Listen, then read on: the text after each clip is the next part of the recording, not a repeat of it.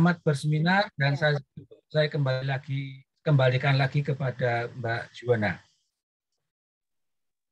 Baik, terima kasih banyak Pak Agung atas sambutannya yang sungguh luar biasa dan memotivasi ya. Selanjutnya kita langsung saja nih berkenalan dengan moderator kita. Ada Mbak Kristela Jessica Thea Cornelia. Beliau merupakan mahasiswa hubungan internasional angkatan 2019. Nah, langsung aja nih kita sapa. Halo, selamat pagi Mbak Kristela. Halo, selamat pagi juga Jana. Bagaimana Mbak kabarnya Mbak? Sehat? Sehat, luar biasa baik. Wah, semoga para hadirin sekalian juga diberi kesehatan ya, seperti Mbak Kristela. Baik, untuk sesi selanjutnya akan dimoderatori oleh Mbak Kristela. Untuk itu, Mbak Kristela, waktu dan tempatnya kami persilahkan. Ya, um, terima kasih Juana atas kesempatannya. Sebelumnya saya ingin menyapa teman-teman partisipan yang ada di sini. Semoga teman-teman partisipan tetap dalam keadaan sehat dan berbahagia, teman-teman. Sebelum kita masuk ke sesi materi, izinkan saya untuk memperkenalkan terlebih dahulu para pembicara yang tentunya sangat inspiratif yang sudah diundang oleh panitia pada pagi hari ini. Yang pertama, ada Bapak Bintang Indra Wibisono, Sarjana Hubungan Internasional, Master of Arts, selaku dosen hubungan internasional. Halo, selamat pagi Pak Bintang, apakah sudah terhubung?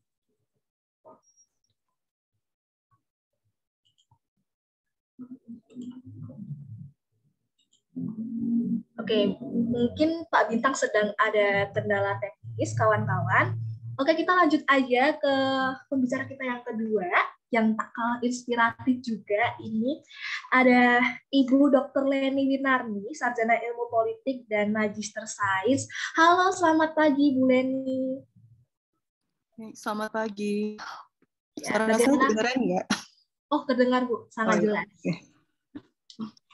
Siap. Terima kasih atas konfirmasi kehadirannya Ibu. Oke, baik teman-teman. Saat ini kita akan masuk nih ke sesi diskusi yang tentunya sangat kita nanti-nantikan sampai saat ini.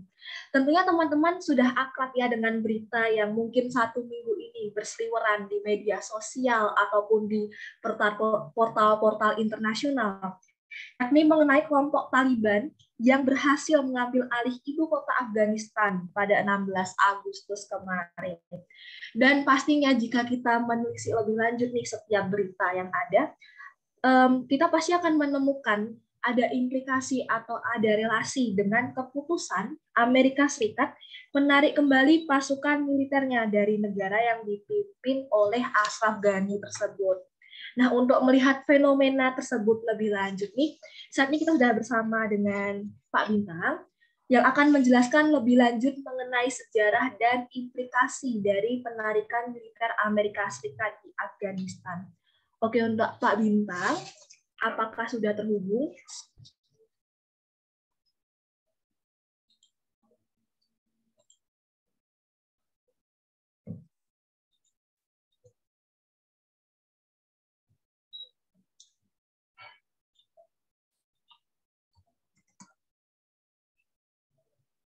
Mungkin saya ulangin sekali lagi ya untuk Pak Bintang. Apakah sudah berada di room ini?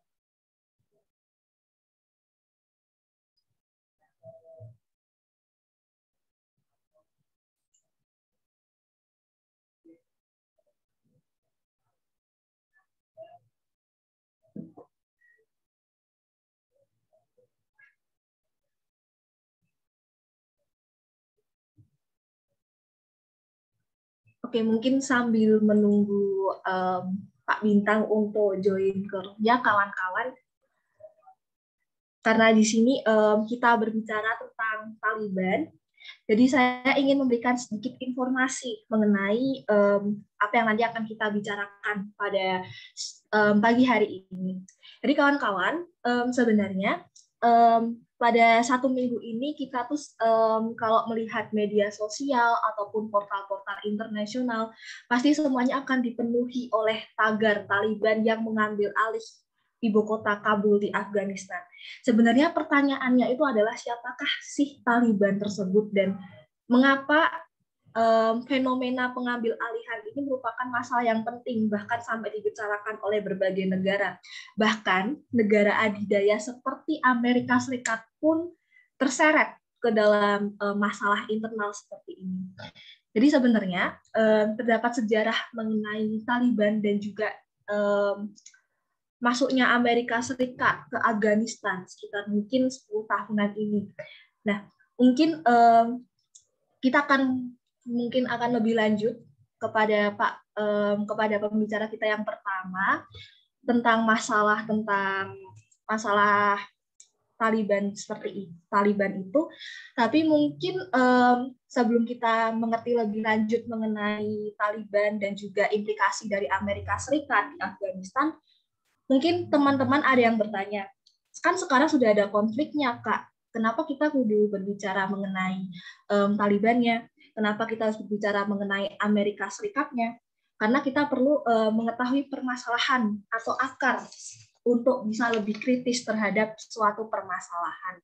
Dan sebagai mahasiswa HI ini penting bagi kita untuk mengerti tentang manajemen konflik yang sedang terjadi. Dan untuk itu kita tuh harus um, istilahnya tuh mengerti apakah nanti ada kemungkinan besar konflik ini bisa beresolusi atau apakah konflik ini bisa uh, berujuk pada perdamaian. Pasti teman-teman juga bertanya-tanya hal yang sama ya, karena pasti kita tidak mengharapkan konflik ini terjadi. Untuk itu, untuk menjawab bagaimana kita manajemen konflik dan bagaimana kita tuh uh, mengetahui probabilitas resolusi konflik yang ada, saat ini kita sudah bersama dengan pembicara kita yang kedua, ada Ibu Leni. Um, halo Ibu Leni. Halo. Ya, um, waktu dan tempat um, saya persilahkan kepada Ibu. Ini jadinya saya dulu? Ya Bu, Ibu dulu juga tidak apa-apa. Oh gitu, oke. Sebenarnya mungkin nanti pembicaraan uh, apa yang saya bicarakan itu konteksnya beririsan dengan apa yang akan di apa yang dikemukakan oleh Pak Bintang. Saya uh, share screen saja. Sebentar ya.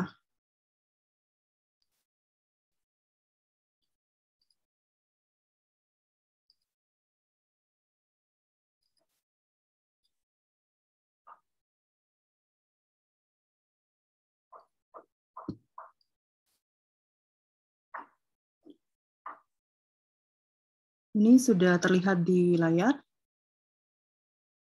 Sudah, Bu. Sudah terlihat. Oke. Um, sebentar ya.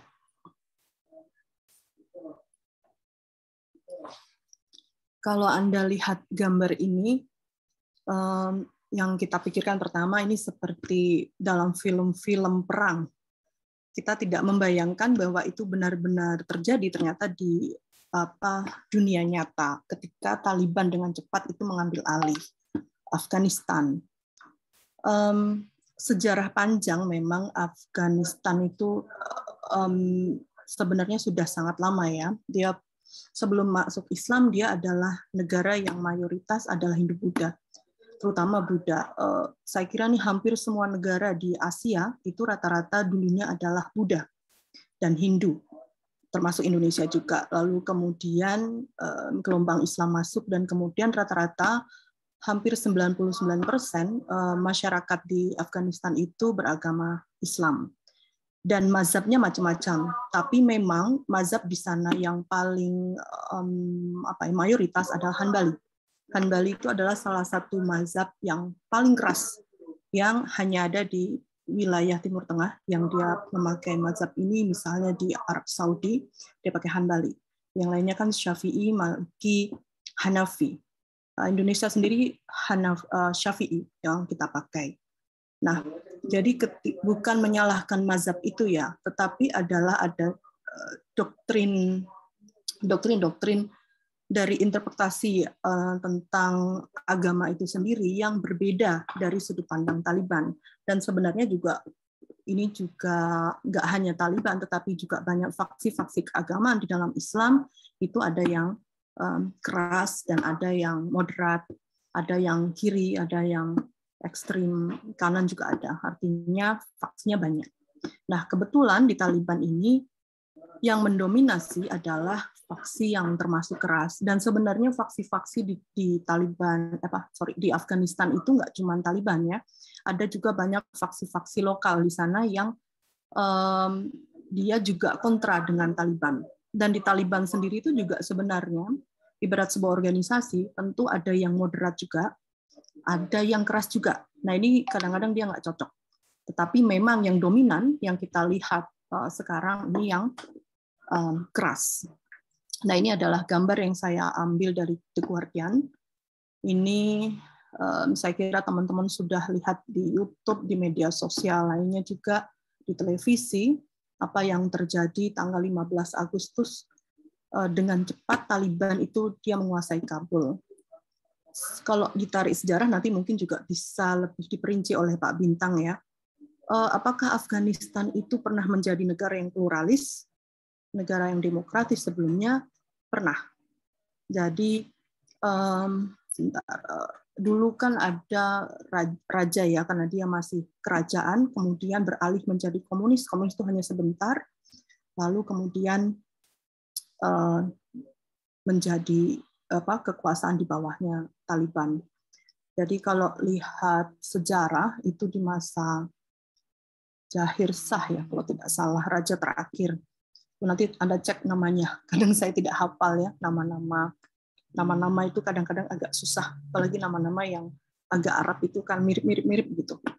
Uh, waktu di bawah pemerintahannya dia, Afghanistan itu berusaha untuk menjadi negara yang pluralis, modern, uh, negara yang ingin uh, menjadi apa ya maju dalam hal pendidikan, terutama di wilayah Asia Tengah waktu itu konteksnya.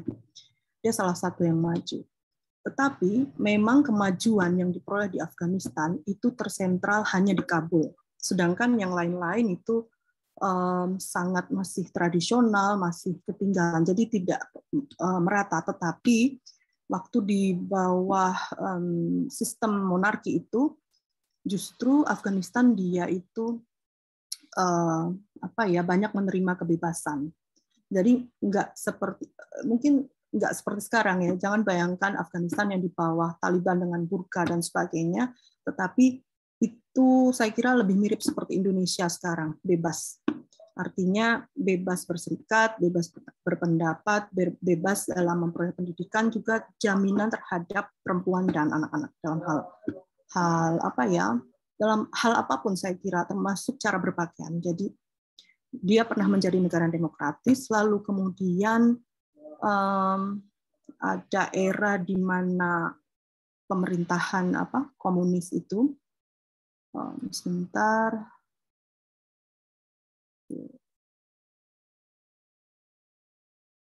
Nah, di masanya Hafizullah Amin itu tahun 79 itu kemudian menjadi pemerintahan komunis. Anda harus lihat di situ konteksnya ada perang dingin di situ um, perang dingin itu adalah perang ideologi antara Amerika dengan kapitalismenya dan Uni Soviet dengan komunismenya.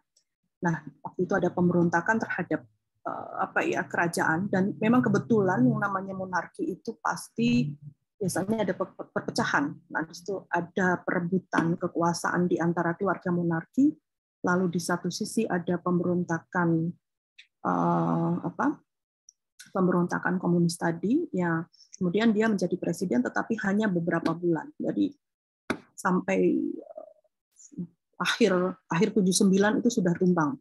Tetapi waktu itu berkuasa Habibullah ini dia meminta bantuan dari Uni Soviet. Ceritanya kan gitu, minta bantuan dari Uni Soviet supaya masuk. Akhirnya tentara merah itu kan masuk ke Afghanistan. Jadi saya ingin meluruskan sejarah nggak ada invasi. Jadi sebenarnya Uni Soviet tidak pernah menginvasi Afghanistan, tetapi itu atas pemerintahan yang mengkudeta tadi ya, yang mengkudeta raja tadi. Jadi mereka masuk ke sana. Tapi juga habis-habisan Uni Soviet di situ karena pasukan mujahidin itu dia tidak terima. Nah, nanti ini secara lengkap bisa diceritakan sama Pak Bintang lah. Jadi ya intinya mujahidin ini oh Amerika gini mujahidin ini masuk uh, ke dalam apa ya keterlibatan lah di situ. Um, mujahidin ini adalah termasuk aliran yang garis keras juga. Islam keras dan dia didukung oleh Arab Saudi, dia didukung oleh Amerika, oleh Pakistan. Eh, lalu kemudian eh, mereka berhasil mengusir apa Uni Soviet. Yang sekarang orang-orang Taliban yang termasuk pimpinannya Baradar eh, Baradar Ghani itu dia masa kecilnya, masa remajanya itu dia habiskan di masa pendudukan Uni Soviet. Nah, di situ mungkin ada rasa apa ya? Ada rasa tidak keadilan terhadap eh, Soviet, terhadap komunis, apalagi Anda harus tahu kan ideologinya bagai bumi dan langit ya, antara ideologi komunisme dengan Islam atau Islamisme. Saya harus katakan bahwa Islamisme dan Islam adalah dua hal yang berbeda. Untuk lebih jauh nanti Anda bisa baca bukunya Basam Tibi atau nanti kita akan ketemu kuliah di politik dunia Islam, ketemu dengan saya di terorisme dan kejahatan internasional. Nah, di situ Anda harus membedakan itu. Islamisme bukan Islam. Walaupun Islamisme mengambil ide-ide Islam, tetapi itu adalah hasil interpretasinya eh, masing-masing faksi itu sendiri ya. Karena kita nggak bisa menginterpretasikan apa pun itu ayat suci dengan interpretasi kita sendiri. Nah, ini yang dilakukan oleh Taliban.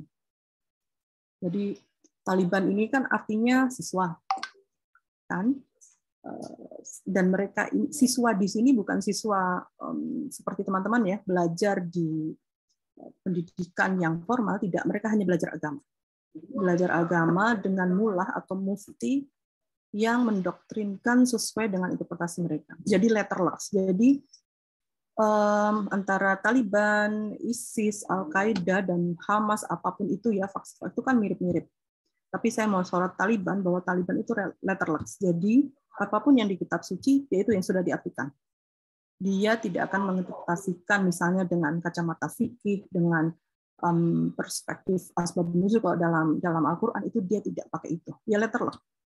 Kan, karena uh, saya kira teman-teman yang muslim tahu ini juga saya kira di kitab suci mana pun ya ada reward dan punishment. Nah, punishment itu kan kadang-kadang kalau di kitab suci kok sadis amat gitu ya kok pencipta sadis amat ya maksudnya hukumannya punishmentnya itu nah itu letter luck diartikan oleh uh, Taliban nah kita tidak bisa seperti itu karena setiap orang itu ada zamannya uh, saya ingat salah satu hadis yang mengatakan bahwa didiklah um, anak-anakmu sesuai dengan masanya sesuai dengan uh, perubahan zaman nah, konteks ini berbeda nah itu yang harus pemahaman-pemahaman itu. Saya kira kalau orang yang apa ya, saya kira para ulama atau cendekiawan muslim dia akan lebih paham. Kita bisa lihat dari gambar ini, ini adalah kekacauan yang terjadi di Afghanistan yang berhasil dipotret. Ini seperti film, saya kira. Anda kalau nonton film perang-perang di film-film Hollywood, kita tidak pernah membayangkan bahwa ini terjadi di sebuah negara. Atau mungkin kita bisa saja, apakah ini mungkin terjadi di Indonesia? mungkin kalau kita terlena.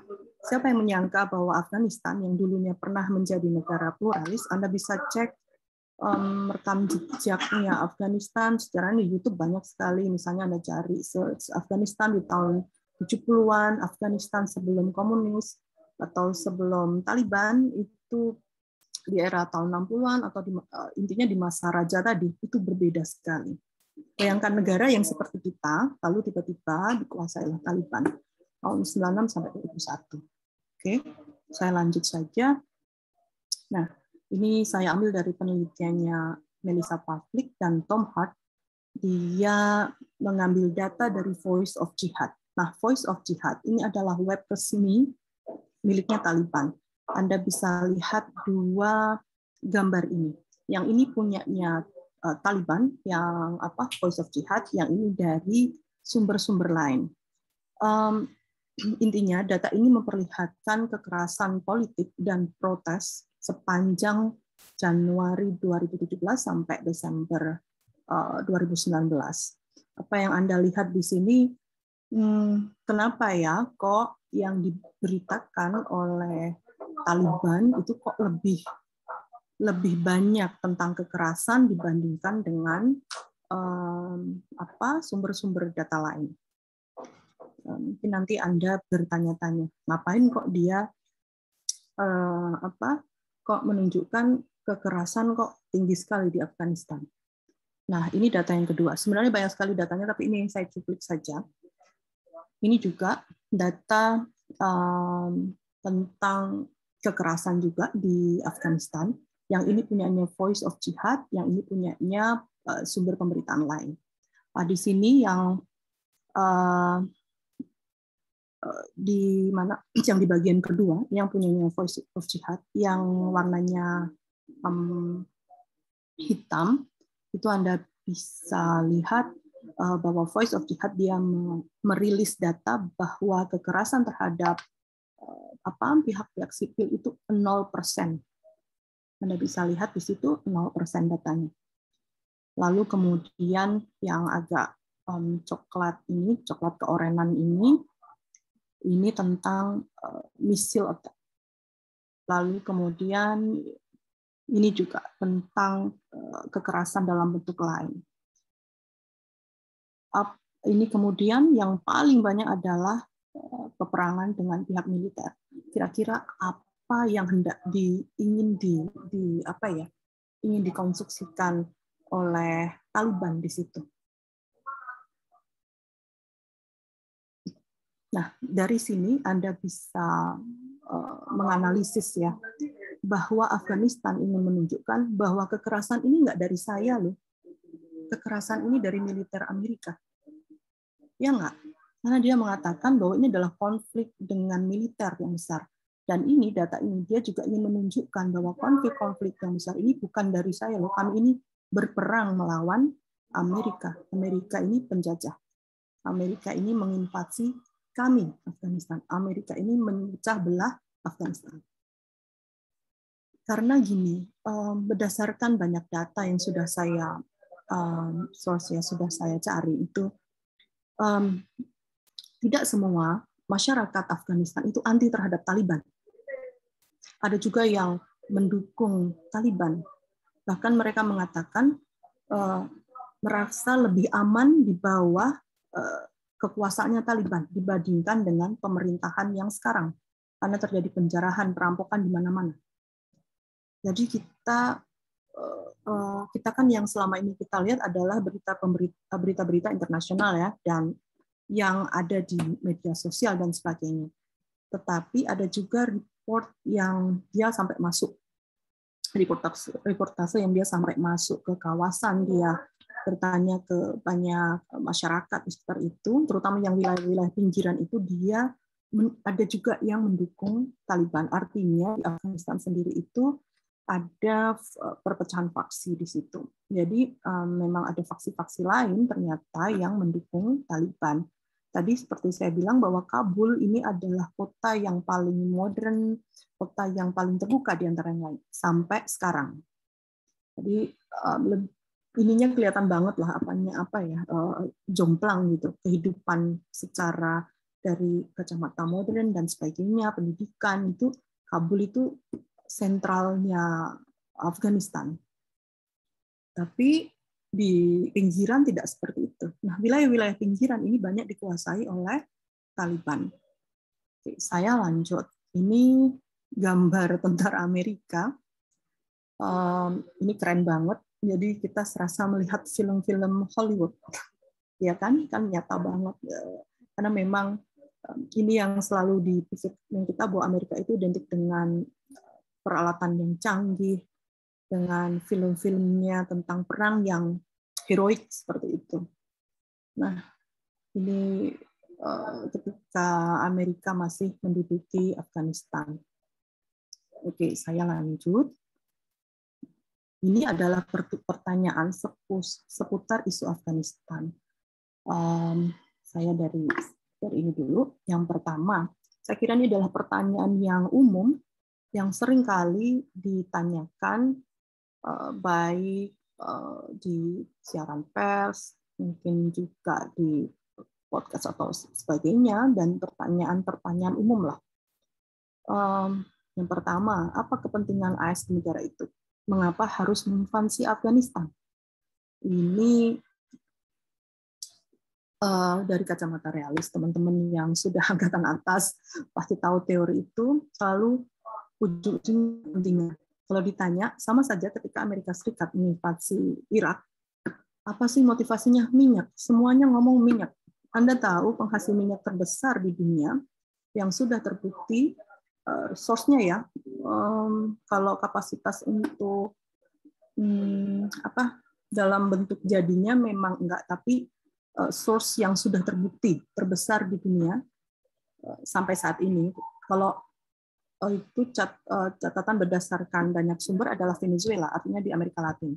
Tetapi memang dikatakan bahwa sumber-sumber di Timur Tengah itu memang belum banyak yang dieksplor, jadi masih masih perlu dibuktikan, tapi banyak cadangannya. Nah, Afghanistan ini juga pasti oh ini kepentingannya minyak, ini untuk tambang dan sebagainya itu. Itu saja jawabannya. Eh, apakah ada yang lain? Saya kira beberapa hari ini belakangan ya, karena sejak Taliban berkuasa di Afghanistan itu kan televisi banyak sekali tuh yang mengundang pakar dan sebagainya. Ada juga yang um, di antara mereka tetap memberikan alasan klasik. Source dan sebagainya, ambang dan sebagainya. Minyak. Padahal kalau di data itu um, Afghanistan, Afghanistan itu urutan 101 dari 101 negara. Saya nggak tahu apakah itu memang belum dieksplor, ya kan memang belum belum bisa tam, apa minyak itu kan butuh dana yang besar untuk mengeksplor itu. Walaupun misalnya kita tahu nih kandungan di sini berapa juta barrel, tapi kita nggak bisa langsung apa eksplor karena dananya besar sekali kan harus ada pipa, harus ada pengeboran, harus ada pabrik dan sebagainya. Jadi nggak bisa secepat itu. Kemudian di Afghanistan itu banyak tambang. Nah, dari ratusan tambang ini yang tercatat, nanti dicek lagi deh. Saya lupa eh, yang mana yang paling besar, tapi beda tipis saja. Jadi ada 281 tambang yang dikuasai oleh pemerintah Afghanistan yang yang kemarin kabur ya, yang presidennya kabur itu. Eh, lalu kemudian 280 tambang itu dikuasai oleh Taliban. Ada sisanya sekitar 148 itu dikuasai oleh faksi-faksi lokal, kelompok-kelompok bersenjata lokal, itu di luar Taliban. Jadi sebenarnya kelompok bersenjata di sana itu nggak cuma Taliban, banyak, faksi-faksinya banyak. Nah, lalu yang pertanyaan kedua, kenapa harus invasi Afghanistan? Ini kan sebenarnya korelasi aja pertanyaannya.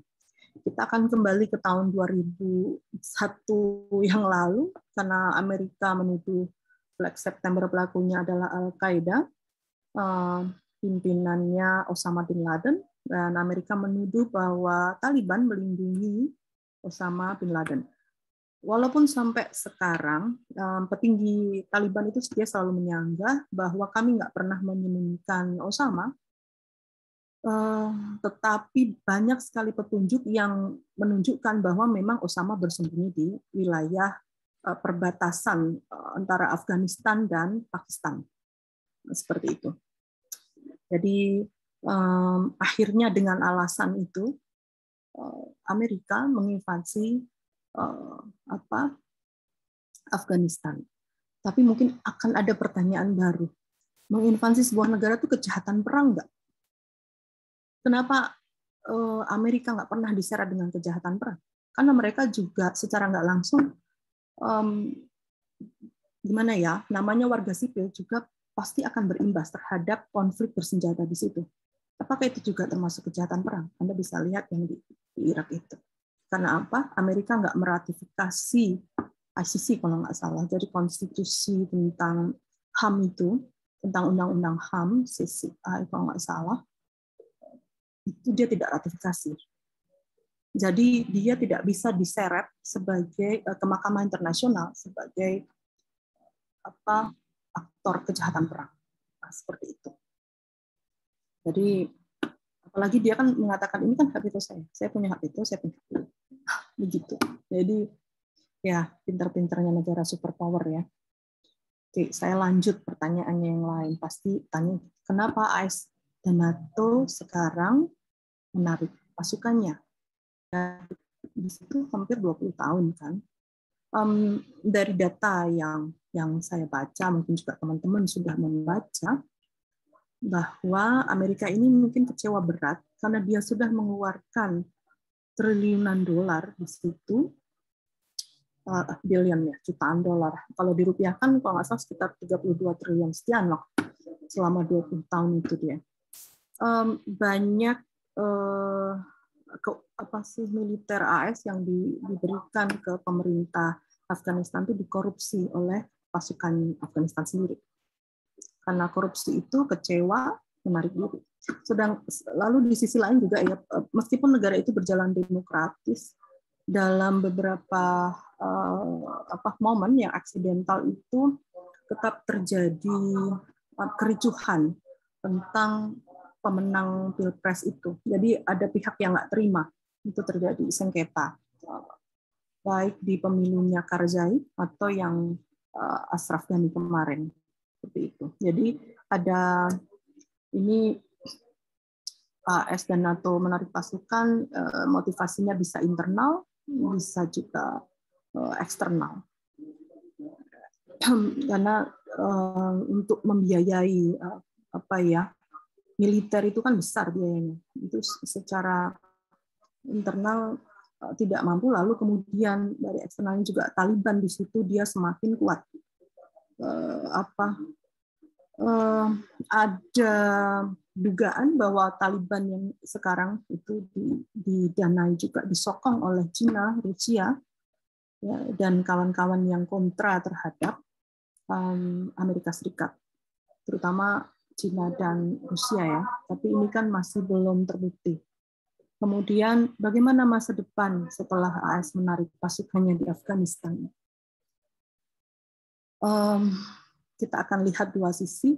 Yang pertama, akankah itu kembali menjadi suram masa depannya seperti 20 tahun yang lalu ketika uh, Taliban berkuasa di mana HAM lalu kemudian uh, apa ya pelanggaran HAM hak hak HAM terhadap anak dan perempuan itu meningkat lagi kekerasan terjadi lagi akankah seperti itu atau apakah Taliban itu dia akan konsisten terhadap pernyataan-pernyataannya. Karena setelah eh, mereka berhasil menguasai eh, Kabul dan kalau udah berkuasa di Kabul di istana kepresidenan itu kan otomatis menjadi sebuah simbol kemenangan. dan mereka mengemukakan apa mengemukakan pernyataan-pernyataan bahwa kami akan menjadi lebih moderat kami ini anti kekerasan, kami akan memperbolehkan perempuan untuk bersekolah, kami juga tidak akan apa eh, balas dendam terhadap mereka yang dulunya misalnya bekerja pada NATO, pada Amerika, pada juga pemerintahnya um, Ghani sebelumnya. Tetapi ada hal yang menarik kalau Anda perhatikan, kami ini anti kekerasan tapi bawa senjata. Kira-kira gimana? saya ini anti kekerasan, tapi saya bawa senjata ke mana-mana. Itu sama halnya seperti saya ini nggak marah loh, tapi ngomongnya itu kayak orang bentak-bentak. Kira-kira gimana? Nah, itu Anda coba analisis sendiri ya, seperti itu. Jadi memang ada dua ada dua hal di sini, ada dua pandangan. Pertama, mereka tidak konsisten terhadap pernyataan-pernyataannya. Yang kedua, mereka akan menjadi lebih moderat ini masih prediksi. Kita masih lihat beberapa bulan ke depan soal ini. Tetapi memang banyak sekali yang mengcapture ya bukti-bukti um, ternyata mereka masih melakukan penembakan di mana-mana bahkan berita yang terbaru ada demonstrasi terhadap Taliban pasukannya pejuang Taliban itu dia menembak uh, hingga tiga orang tewas dalam demonstrasi itu baru saja kalau di level pimpinan mungkin dia bisa moderat, tetapi di lapangan kita tidak tahu. Ya, yang yang di level bawahnya ini ya, yang pejuang-pejuangnya ini tadi. Kan istilahnya mereka mengatakan jihadis, pejuang Taliban. Saya lanjut, lalu kemudian bagaimana masa depan Afghanistan di bawah kekuasaan Taliban? Ini relevan. Pertanyaan ini relevan. Masa depan setelah AS menarik pasukannya di Afghanistan, masa depan Afghanistan di bawah kekuasaan Taliban Nanti pertanyaan yang bagian ini, uh, ini nanti ada hubungannya dengan kehadiran apa, aliansi baru Cina dan Rusia. Nanti saya jelaskan di bagian ini. Kemudian apakah Taliban benar-benar akan beralih lebih moderat? Ini juga masih relevan dengan pertanyaan saya tadi. Kemudian bagaimana kelangsungan keamanan regional di wilayah itu, bahkan global. Saya kira tadi saya sempat mendengar uh, pernyataan dari Pak Agung. Dalam konteks uh, regional di situ, yang pasti kita lihat adalah ada gelombang pengungsi, itu otomatis. Gelombang pengungsi yang dia memang tidak mau dibawa rejim Taliban melarikan diri. Bagaimanapun caranya, pokoknya harus keluar dari negara itu Gelombang pengungsi itu otomatis akan eh, apa menyebabkan persoalan baru di negara penerima ada ekonomi, sosial, politik. Bahkan di Turki kalau Anda di Turki ini kan udah kelebihan um, pengungsi Suriah ya. Di kota yang di kota pinggiran Turki itu sendiri sampai orang Turkinya sendiri itu dia merasa terasing karena saking banyaknya pengungsi setiap dia, dia nanya ke orang situ, ini bahkan mereka nggak bisa ngomong Turki. Nah, itu tuh jadi masalah sosial baru lah, masalah politik juga. Nah, itu ada keamanan regional di situ, ya ada kawasan dan juga jelas um, mungkin akan menginspirasi ya kelompok-kelompok uh, garis keras yang lain. Uh, karena di mana Talib apa di Pakistan, Pakistan ini penyangga, salah satu juga penyangga eh, Taliban, karena banyak sekali orang-orang Taliban ini aslinya juga orang Pakistan dan banyak juga orang Afghanistan orang Taliban itu yang menjadi Taliban ini dia belajar um, di uh, madrasah-madrasah ya, jadi bukan sekolah formal seperti ini, madrasah yang hanya belajar agama itu di Pakistan di perbatasan itu. Nah, di situ banyak sekali juga faksi-faksi yang yang ada di Pakistan itu. Nah ini ini ada kaitan yang erat dengan uh, Taliban selama, selama ini ya. Jadi ideologinya itu uh, dari situ juga. Taliban ini kan mayoritas Pashtun ya. Uh, dia apa uh, etnis mayoritas di wilayah itu. Kemudian ini, nah ini tadi yang saya kaitkan dengan ini. Apakah Cina dan Rusia akan menjadi partner baru Afghanistan di bawah kekuasaan Taliban? Ini lucunya kalau kita balik ke tahun 79 sampai 89 di mana um, Rus, Rus apa Rusia ini Soviet yang menduduki Afghanistan waktu itu um, kelompok-kelompok mujahidin ini kan dia anti dengan uh, Uni Soviet waktu itu komunis. Nah sekarang setelah beberapa puluh tahun kemudian, beberapa dekade kemudian justru Taliban, eh, kelompok Islam garis keras ini kok dia mau kerjasama dengan Cina dan Rusia. Padahal secara ideologi saja bagai bumi dan langit ya. Bagaimana mungkin yang satunya dia percaya, sangat percaya, sangat fanatik dengan agama, yang satunya tidak percaya dengan agama. Itu adalah ideologi ya. Kalau saya mau tarik um, dari perspektif agama, itu adalah dua ideologi yang bagai bumi dan langit. Saya tidak tahu, tidak bisa memprediksi juga bagaimanakah bentuk kerjasamanya, kecuali mungkin adalah bisnis. Dari situ. Uh, ini masih um, ya masih akan banyak perkembangan di situ. Maka dukungan-dukungan itu kan gini ya, apa pun yang didukung oleh Amerika Serikat, kedua negara ini akan kontra. Anda perhatikan saja, di mana pun di belahan bumi, bumi mana pun, apa pun yang didukung oleh China dan Rusia terhadap suatu kawasan negara, Amerika pasti akan kontra dan NATO ya dan sekutunya itu. Uh, jadi itu apa saya kok melihatnya kadang itu bukan murni ya untuk untuk untuk misalnya membantu Afghanistan, tetapi juga ada level persaingan global. Ini negara-negara dua ideologi ini kan nggak pernah akur. Salah satunya harus jadi negara super power. Nggak mungkin ada dua matahari. Ya, harus matahari cuma ada satu. Itu saja yang yang bisa teman-teman analisis dari situ kan. Oke, ini ini lini masa tadi sudah saya singgung sedikit. Di tahun 2001 AS yang menginvasi Taliban. 2004 itu ada Pilpres di situ Hamid Karzai. Tapi setelah kemenangan Hamid Karzai, Taliban itu semakin melancarkan serangan. Saya tuh sampai sekarang juga masih bertanya-tanya ya, mereka dapat senjata dari mana ya?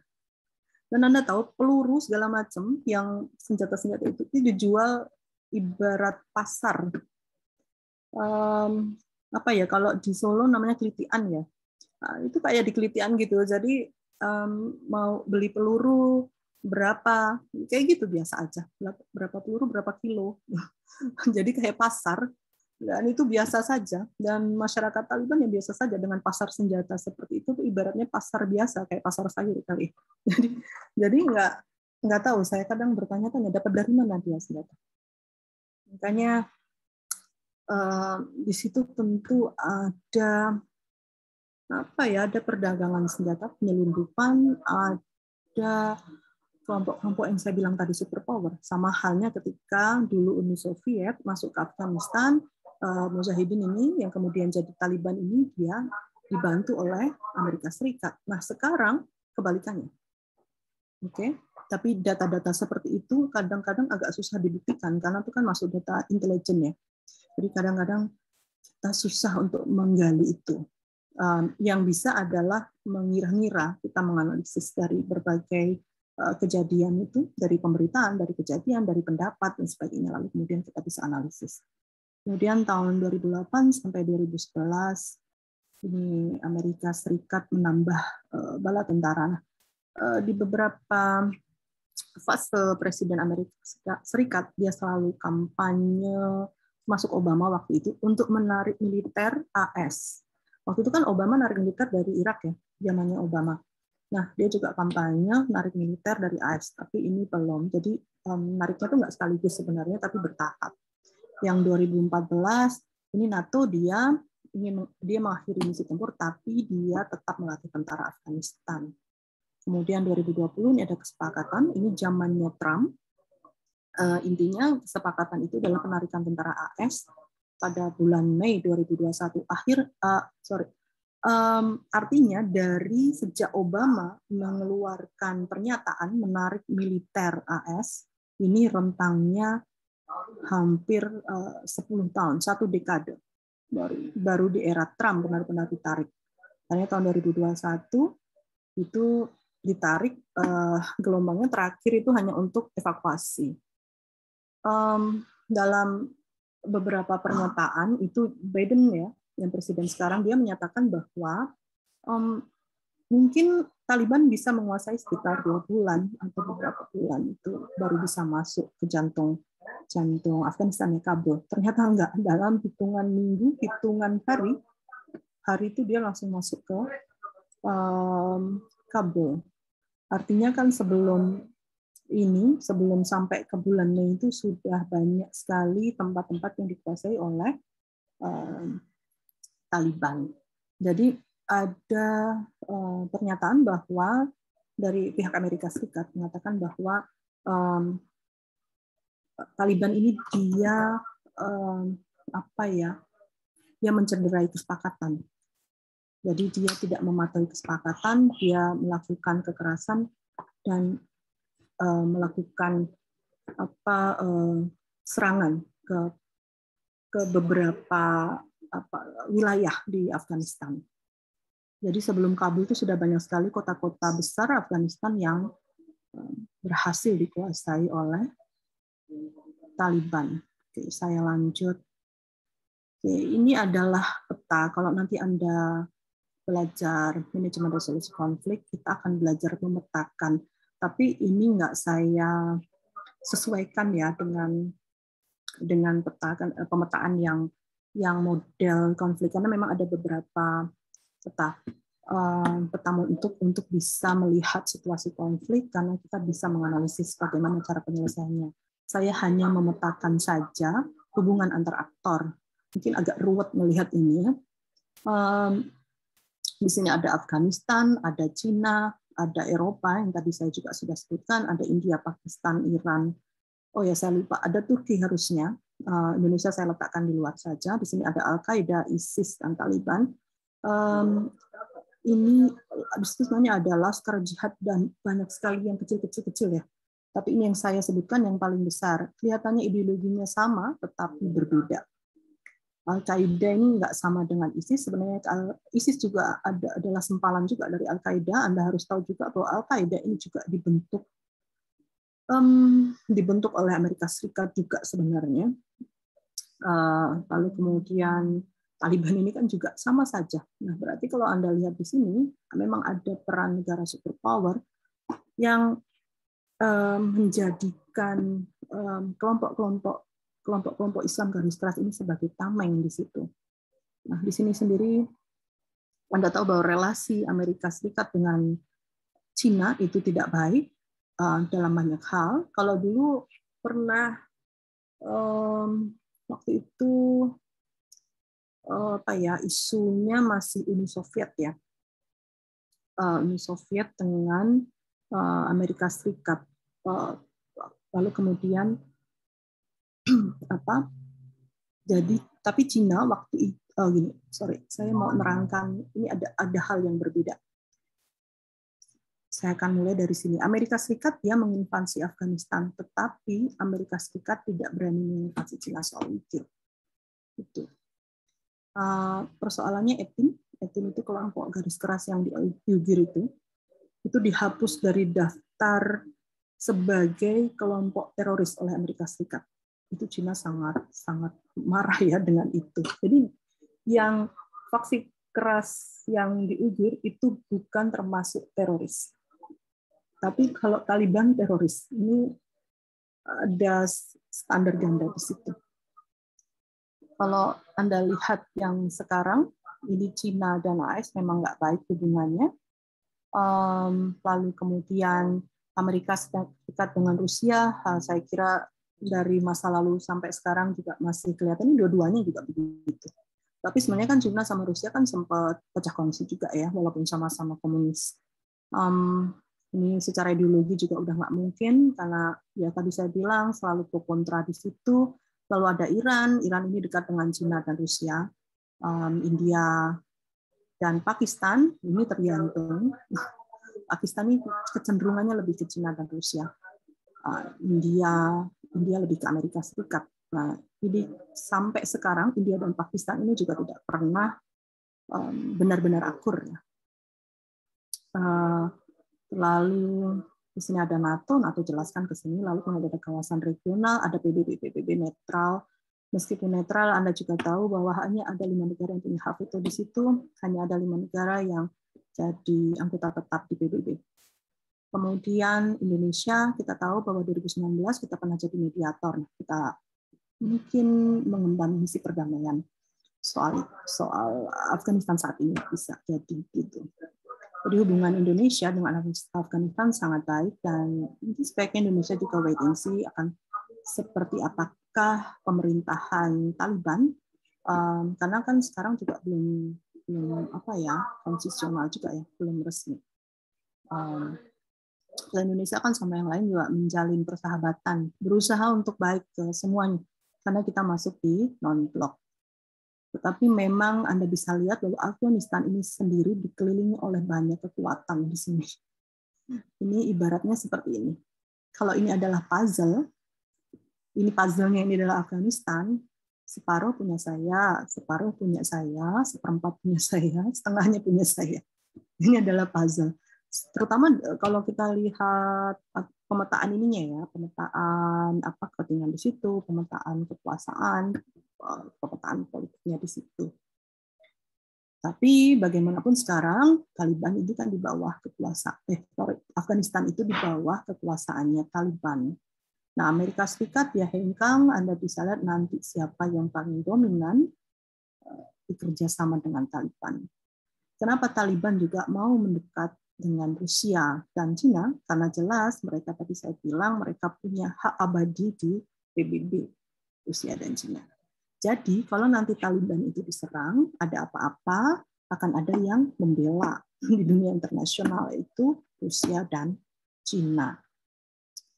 Um, perjanjian antara Amerika Serikat dan Taliban uh, waktu itu memang oke okay, uh, Taliban uh, bisa berkuasa di situ, tetapi tidak boleh di Afghanistan itu ada ISIS, ada Al-Qaeda, ada yang selain Taliban itu, bukan yang lokal ya, yang transnasional seperti ISIS dan Al-Qaeda.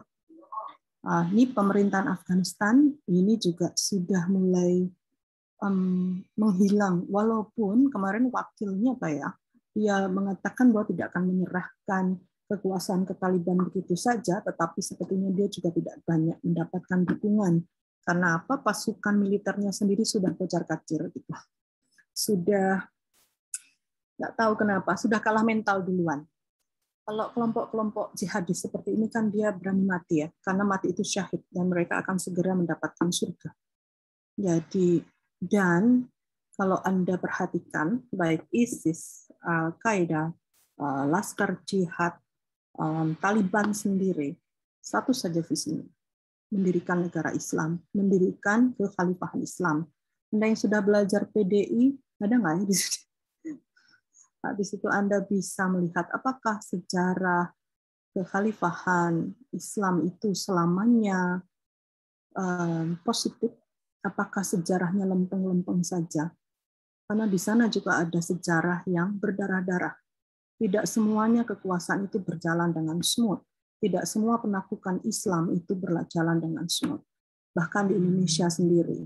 Kalau Anda baca bukunya Rick tentang sejarah modern Indonesia, ini teman-teman yang kemarin mengambil mata kuliah saya di SPI, um, itu bahwa perjalanan Islam itu tidak tidak seluruhnya apa ya mendapat penerimaan, tapi ada jalur politik, juga ada jalur pedang. Nah, jalur jalur pedang itu saya kira biasa dalam siapa pun yang berkuasa ya. Eh, mau itu Islam, mau itu agama apa pun, jangan dilihat dari agamanya. Tapi adalah lihat bagaimana dia ingin melihat, ingin merebut kekuasaan. Nah, ketika sudah kekuasaan itu berbicara, itu yang terjadi bukan konteksnya jangan lihat agamanya, lihat eh, bagaimana mereka mengkonstruksikan Islam itu sendiri. Banyak banyak juga saya kira jumlah-jumlah penelitian saya salah membaca juga di situ tentang bagaimana Taliban itu dia mempersepsikan dunia. Nah, kita tidak melihat dari kita, eh, kita melihat dia kan seperti apa namanya Eh, kelompok garis keras yang mensengsarakan, yang menakutkan, yang apa ya melanggar HAM dan sebagainya. Tetapi dari kacamata mereka, saya adalah kelompok pembebas. Ya, jadi kadang kita harus berpikir dengan cara pandang mereka. Karena itulah mereka mengatakan bahwa ini kami berjuang, kami ini seperti itu. Saya kira itu saja ya dari saya. Kayaknya udah lumayan lama nih saya um, apa Eh, menceritakan soal Afghanistan. Dari untuk memetakan resolusi konfliknya ke depan memang butuh mediasi. Saya harap Indonesia dapat terlibat di dalamnya, PBB dapat terhadap isu-isu yang berkembang di Afghanistan eh, nanti ke depan. Semoga yang dikatakan oleh mulah-mulahnya Taliban itu eh, konsisten ya. Tapi memang di Kabul itu sekolah tetap dibuka, untuk perempuan tetap dibuka, tapi juga tidak tahu apakah di daerah yang lain itu begitu. Nah, memang kadang-kadang gini apa istilahnya tidak rata di suatu di suatu wilayah itu Taliban bisa sangat keras, tapi di tempat lain bisa sangat bebas, bisa enggak seperti se ekstrem itu. Jadi nggak tahu ya, nggak nggak bisa rata soal itu. Oke, itu saja dari saya. Terima kasih eh, teman-teman semua. Eh, saya harap bisa bermanfaat apa yang saya share. Oke, saya kembalikan ke Kristel. Ya, terima kasih atas materinya Bu Leni. Ya, pasti teman-teman um, mulai apa ya banyak perspektif baru ya dari pemaparan yang tadi sudah disampaikan. Tapi sebelumnya izinkan saya untuk uh, mereminder kembali terkait mekanisme tanya jawab. Nah, bagi teman-teman yang mungkin tadi, wah sepertinya aku ingin bertanya beberapa berbagai hal nih ke Bu Leni. Untuk itu teman-teman silahkan bagi peserta yang um, ingin bertanya wajib memakai fitur raise hand. Tapi pada saat nanti sesi tanya jawab berlangsung atau bisa menggunakan chat room dari sekarang dengan mengajukan pertanyaan dengan format pertanyaan nama instansi underscore nama underscore instansi underscore ditujukan kepada siapa underscore pertanyaan seperti yang telah disampaikan panitia di kolom chat room. Dan nanti untuk selanjutnya pertanyaannya akan dipilih oleh moderator untuk um, ditanyakan dan mempersilahkan kepada penanya untuk menanyakan langsung pertanyaan tersebut. Oke teman-teman, um, ini kita sudah um, hadir bersama kita Pak Bintang. Halo, apakah Pak Bintang sudah ada di room? Oke, Lala. Ya, um, untuk sesi selanjutnya kita akan uh, menggali lebih lanjut tentang sejarah dan implikasi tentang Amerika Serikat di Afghanistan oleh Pak Bintang. Untuk itu, waktu dan tempat saya persilahkan ke Pak. Oke, terima kasih Lala. Saya share screen dulu.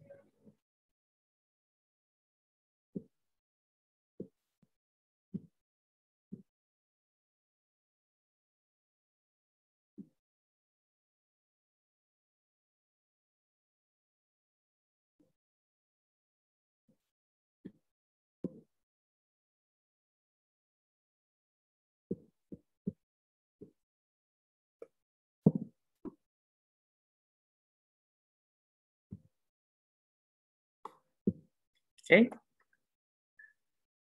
Terlihat jelas ya? Sudah, Pak. Oke. Kita kan ini sebuah topik yang baru ya. Topik tentang jatuhnya pemerintahan Afghanistan, kolapsnya pemerintahan Afghanistan yang kemudian disebabkan oleh pasukan Taliban yang masuk ke kota Kabul, yang sekarang sudah memasuki kota Kabul, yang menyebabkan kepanikan massal yang menyebabkan pemerintahan kolaps, presidennya kabur, terus kemudian apa? stabilitas sosial di sana ya bisa dibilang uh, semuanya sangat-sangat terpengaruh dengan masuknya pasukan Taliban di kota Kabul ini. Dan di sini ini kan sebenarnya kalau di dalam hubungan internasional ini adalah sebuah fenomena yang yang bisa dibilang wajar, yang bisa dibilang ini bukan pertama kali terjadi, ini sudah terjadi berkali-kali. Pemerintahan, uh, ini kan kalau, kalau dilihat dari kacamata hubungan internasional, yang terjadi di sini kan adalah pertama, terjadinya nation building yang gagal. Pasukan asing masuk menginvasi, mendirikan sebuah pemerintahan, akan tetapi pemerintahan tersebut nggak bertahan lama. Kita lihat di mana uh, Vietnam misalnya. Vietnam ini cuma lima tahun pemerintahan Vietnam Selatan ini cuma lima tahun bertahan. Lalu Libya, Libya diinvasi oleh NATO, kemudian ditinggal begitu saja. Bahkan proses nation buildingnya ini hanya bertahan berapa bulan, hitungan bulan bahkan. Sampai sekarang masih kolaps pemerintahan Libya. Terus Somalia misalnya. Somalia ya bisa dibilang di sana ada pemerintahan yang yang sah. Akan tetapi pemerintahan yang sah ini ya hanya mengcover 30% dari keseluruhan luas wilayah. Sisanya di sana pemerintah ini nggak punya kuasa. Pemerintah di sana nggak bisa nggak punya polisi yang bisa menertibkan masyarakat yang berada di luar. Terus kemudian ya sistem sistem sistem kenegaraan di sana ini nggak berlaku, hanya berlaku di 30% dari uh, negara Somalia dan ini proyeksinya adalah sepertinya mengarah ke sana. Pemerintah kolaps, pemerintah gagal digantikan oleh uh, kekuatan politik yang lain. Di sini, ini yang terjadi di Saigon, Ho Chi Minh, di tahun 75 ini sama dengan yang terjadi di Kabul tahun 2021. Uh, image yang di bukan image ya, ini fenomena yang terjadi adalah ya ketika sebuah kota ini jatuh, kolaps, ini ya terjadi kepanikan massal, terjadi eksodus massal di sini. Dan kalau di Saigon sendiri tahun 75, ini kan kalau di kosakata hubungan internasional, fenomena ini kan disebut sebagai the fall of Saigon. Akan tetapi bagi orang-orang Vietnam, hal ini disebut sebagai the liberation, pembebasan of Saigon the liberation of Saigon. Nah, hal seperti ini, ya ini bisa dibilang ya sejarah berulang kembali. Hal yang sama juga terjadi di sini. Orang-orang pada eksodus keluar dari kota yang dikuasai oleh kekuatan politik lain. Hal ini ya bisa dibilang adalah hal yang ya bisa ya kalau dilihat ke depannya ya pasti akan terjadi, terjadi dan terjadi lagi. Penyebabnya adalah kalau mau dirunut dari nation building, kalau mau dirunut dari state building, state building ini nggak bisa hanya diserahkan kepada militer saja. Karena kalau state building ini semuanya diserahkan kepada militer, hanya sektor militernya yang dikuasai, oke okay, secara secara politik eh secara keamanan ini bisa aman. Akan tetapi secara politik, secara penerimaan di masyarakat ya nggak ada penerimaan dari masyarakat pemerintah yang dibangun ini bukan pemerintah yang mendapatkan legitimasi dari masyarakat, sehingga ketika penyokong terbesarnya ini hilang, dalam artian di sini kalau di Saigon adalah militer Amerika, kalau di sini juga sama sebenarnya militer Amerika juga. Begitu militer Amerika pergi, langsung kolaps. Ini yang terjadi. Oke, kita bahas mengapa kemudian state building yang ada di Afghanistan ini bisa gagal. Pertama kita perlu melihat apa fitur utama dari negara Afghanistan ini. Ini ada sebuah uh, karakteristik yang menarik dari negara-negara yang memiliki hard terrain, yang memiliki wilayah geografis yang bisa dibilang keras.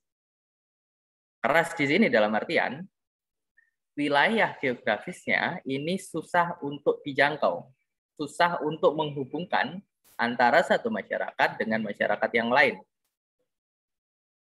Hmm, geografi yang bisa dibilang mudah ini adalah geografi yang sifatnya kontinental, geografi yang yang semuanya terhubung dalam satu benua, satu tanah.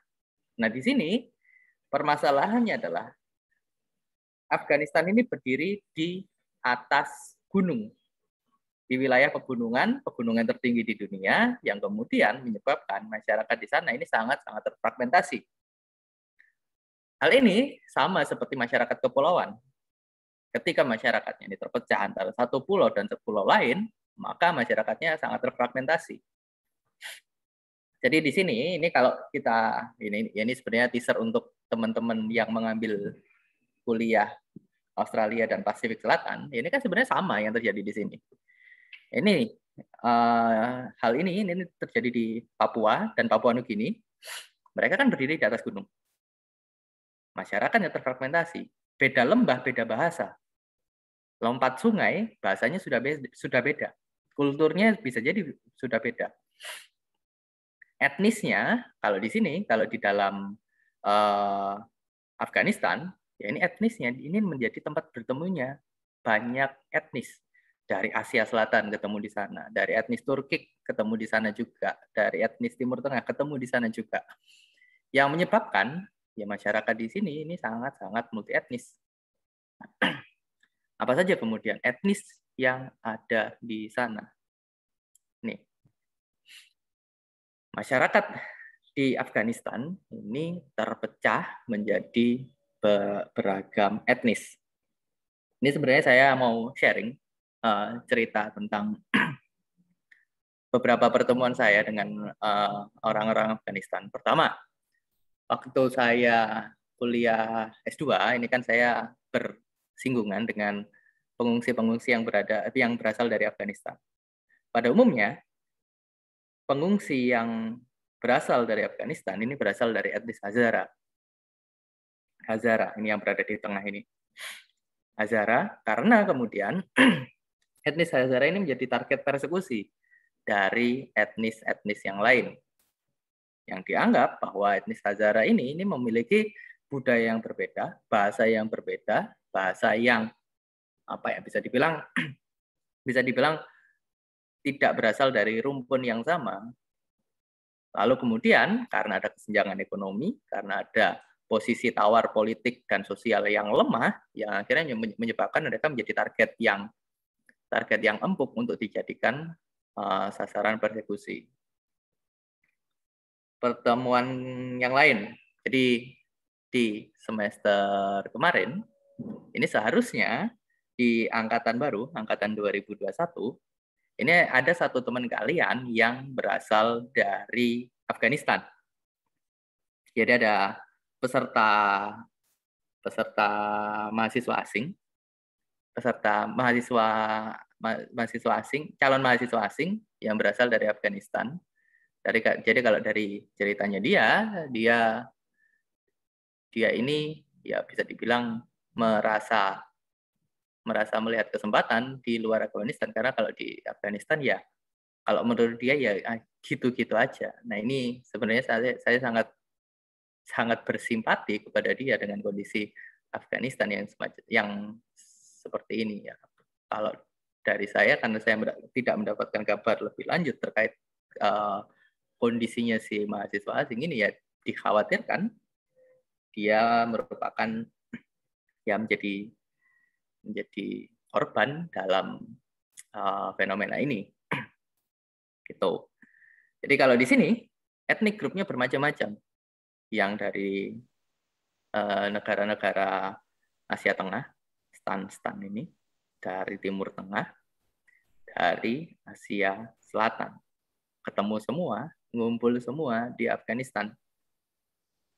Karena dari dulunya ya Afghanistan ini adalah adalah wilayah yang wilayah yang multi etnis, wilayah yang wilayah yang merupakan perpotongan dari satu etnis dengan etnis lain. Oleh karena itu, ketika negara-negara barat ini membagi-bagi wilayah di Timur Tengah, Asia Tengah, dan Asia Selatan, Afghanistan ini menjadi salah satu korbannya. Jadi kalau negara, negara yang bisa dikatakan ideal, ideal dalam tanda kutip di sini, satu negara, satu etnis. Tapi karena ini merupakan dampak-dampak dari kolonialisme yang akhirnya menyebabkan wilayah satu etnis dan etnis lain ini saling potong.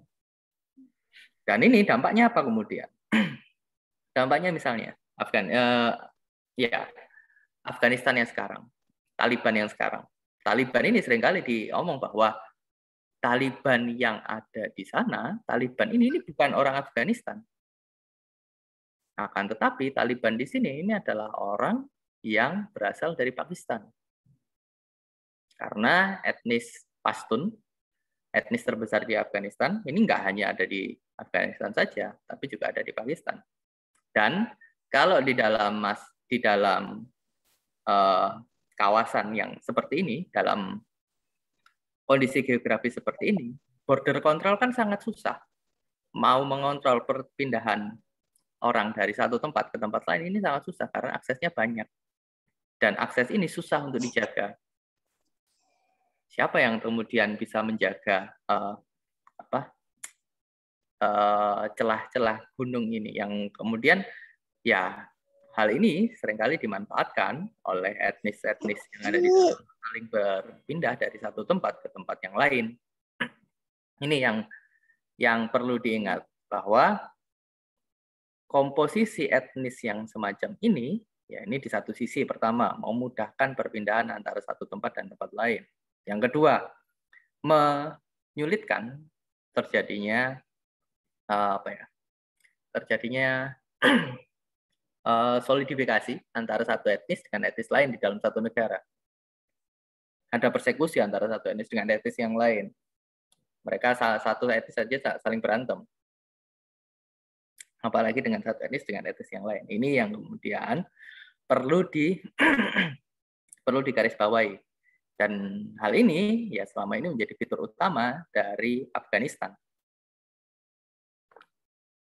Oke, dari masyarakat etnis di sana, masyarakat yang multi etnis, yang mayoritas 40% adalah etnis Pashtun. Jadi bisa dibilang ya kurang lebih uh, Pashtun ini ya kurang lebih uh, apa kurang lebih sama posisinya sama etnis Jawa di Indonesia. Nah, di sini yang karena kemudian posisi Pashtun ini adalah orang eh, adalah etnis yang mayoritas di sana, dampaknya adalah nilai-nilai yang dianut oleh etnis Pashtun ini banyak di dianut oleh uh, etnis yang lain dan bisa dibilang bahwa Pastun Wali, nilai-nilai yang dianut oleh masyarakat Pastun, ini menjadi nilai-nilai nasional. Dianut oleh masyarakat di Afghanistan. Apa kemudian core value dari budaya Pashtun? Ini disebut sebagai Pashtun Wali. Core value-nya adalah pertama tentang hospitality. Hospitality, keramahan. Keramahan ini utamanya ditujukan kepada orang-orang asing atau dengan kata lain tamu. Secara secara secara budaya hal ini bisa dirunut dari uh, dari ke, dari peradaban Afghanistan sendiri. Karena peradaban Afghanistan ini muncul ketika masyarakat yang berada dari Timur Tengah, dari Asia Tengah, ini berdagang dengan masyarakat India. Jadi lewatnya, ini lewat Afghanistan. Walaupun Afghanistan ini bergunung-gunung, tapi ini adalah rute paling dekat bagi masyarakat Afghanistan, eh, masyarakat Asia Tengah untuk berdagang dengan masyarakat Asia Selatan, India, Pakistan, Bangladesh. Yang akhirnya di sini salah satu intinya adalah bagi tamu ini harus dijamu sebaik-baiknya.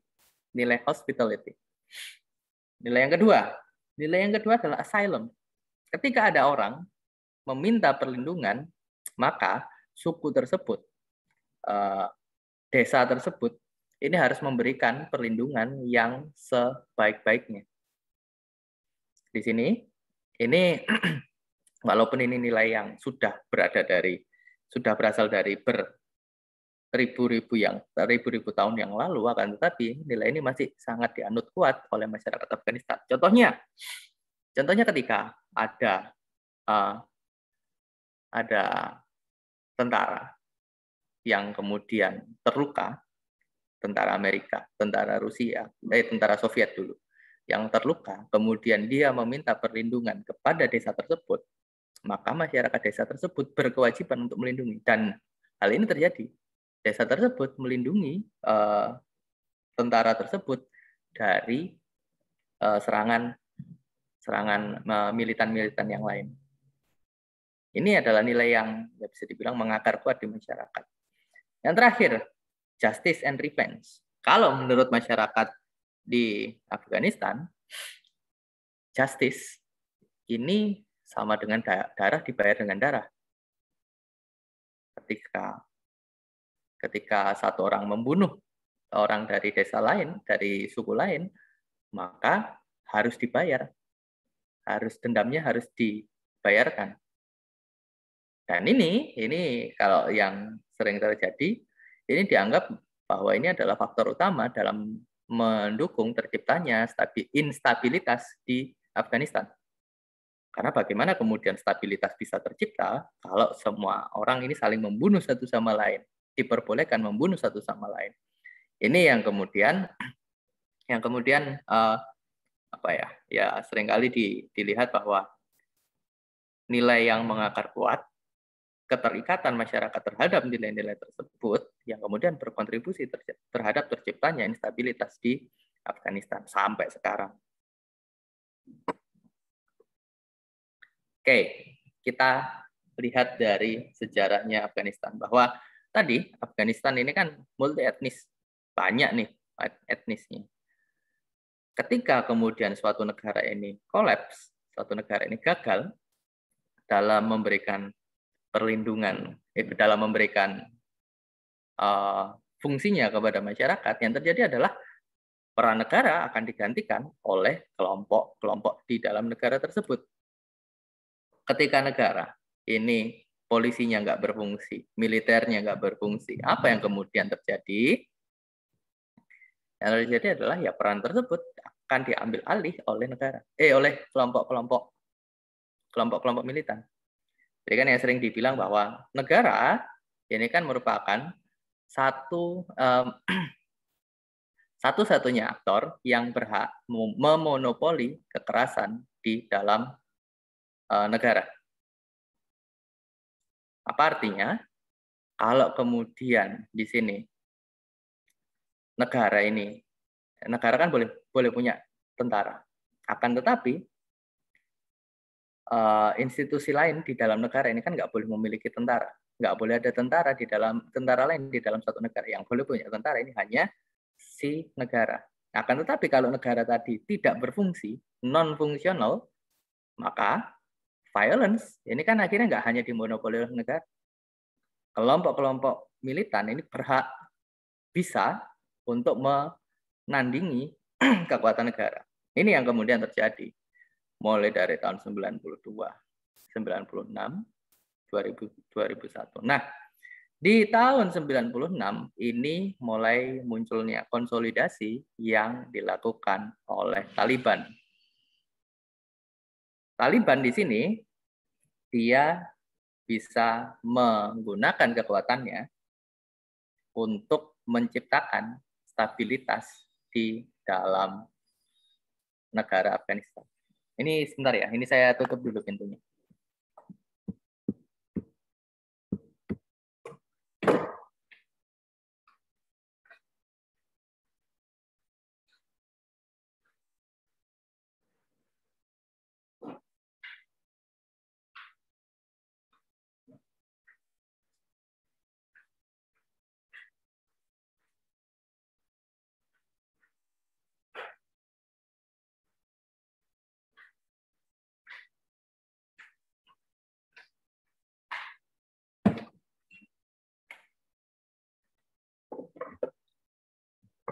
Oke, lanjut tentang the rise of Taliban.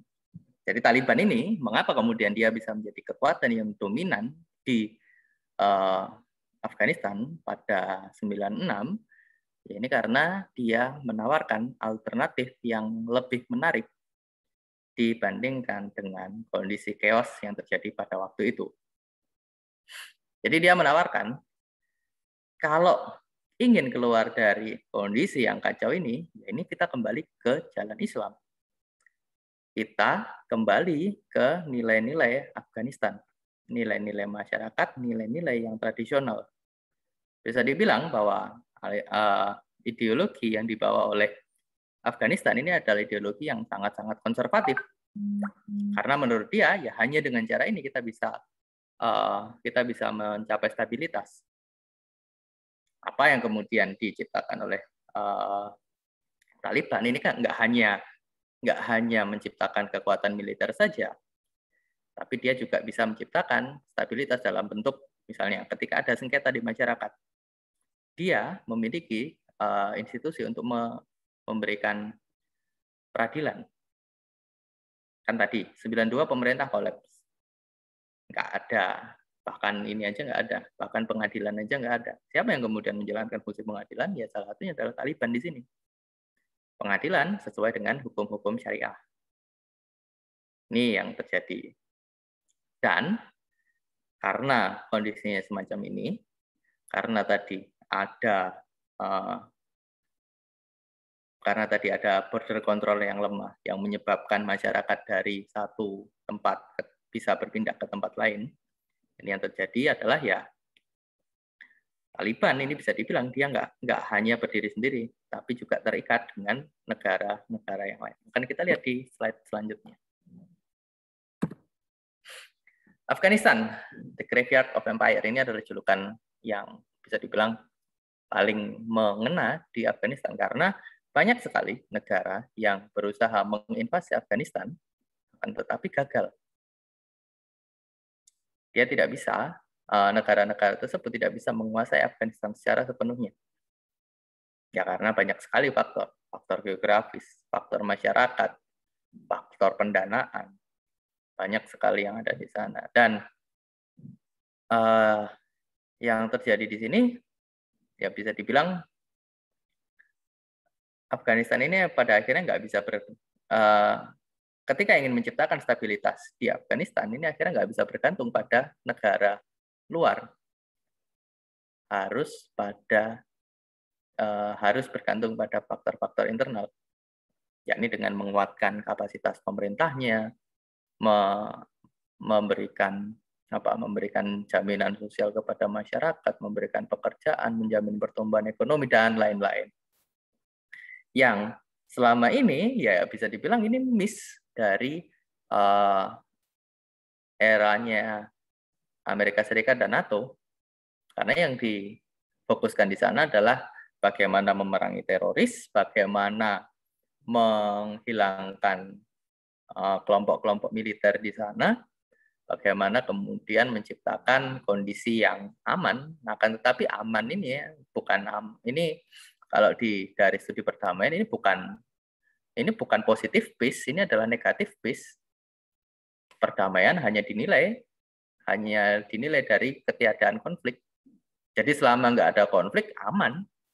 Entah itu kemudian nggak ada konflik gara-gara orang takut berantem satu sama lain, atau kemudian orang ini berantem tapi diam-diam, yang akhirnya bisa dibilang ini adalah konflik laten yang baru kemudian ketika mereka pergi, konfliknya ini lanjut lagi seperti biasa.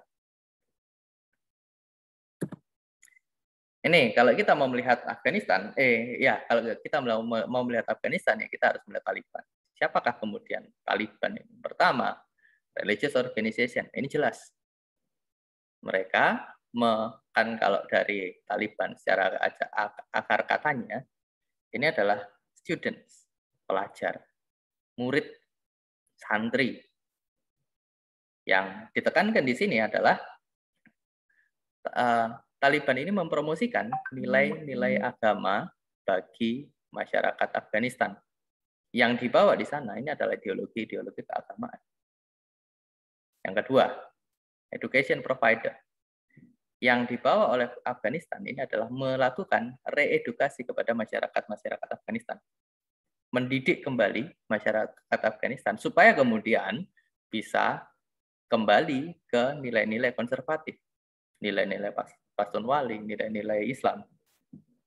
Dan ini yang kemudian peran yang dijalankan oleh Taliban yang lain adalah sebagai culture enforcer.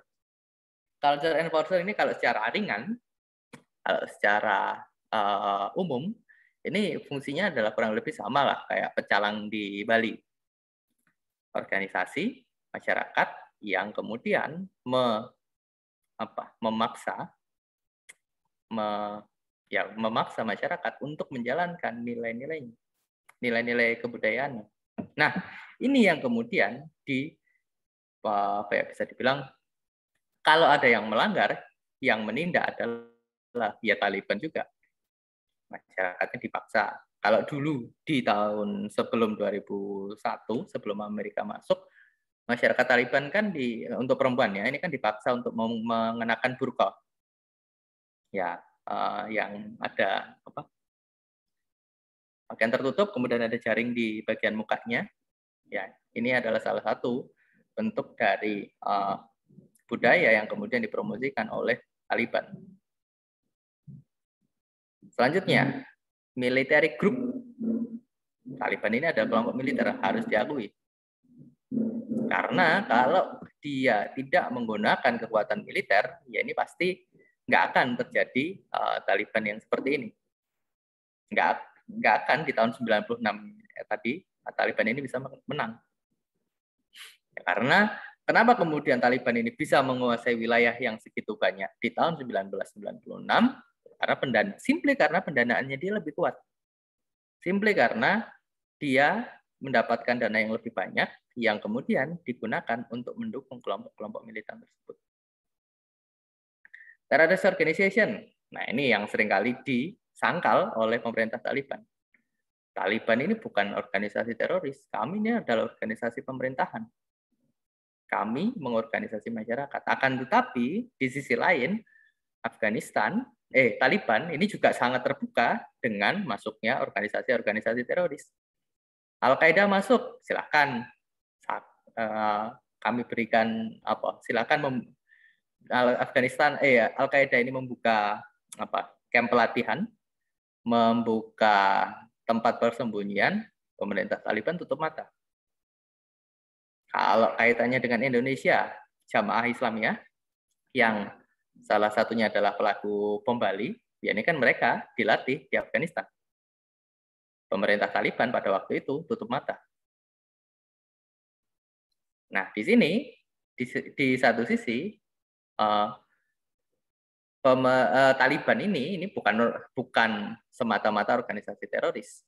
dia tidak menjalankan tindak tindak terorisme, dia menyangkalnya seperti itu, akan tetapi harus diakui bahwa keberadaan Taliban ini memudahkan kelompok-kelompok teroris, organisasi-organisasi teroris untuk mengembangkan organisasinya di negara Afghanistan.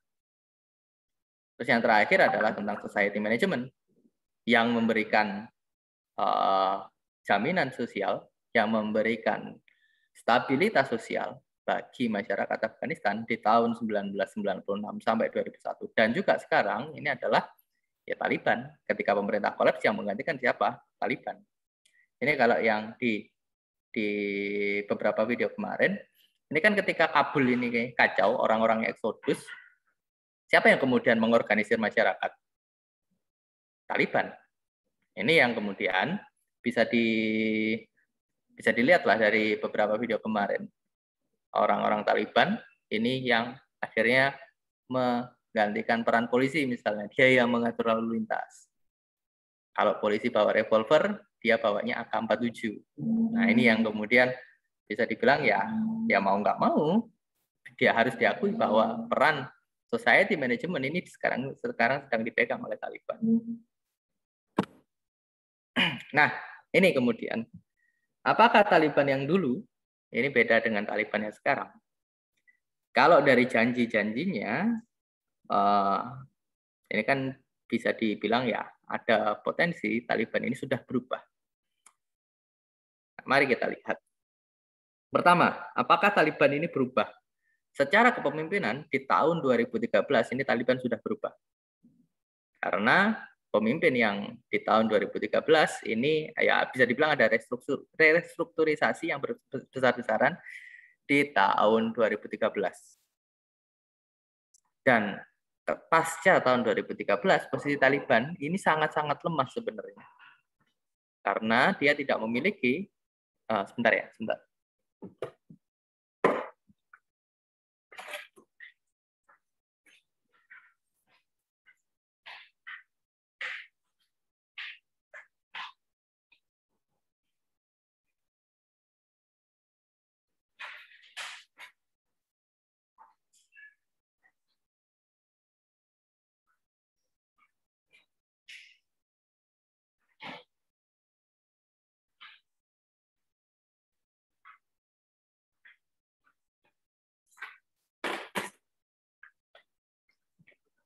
Sorry ada gangguan.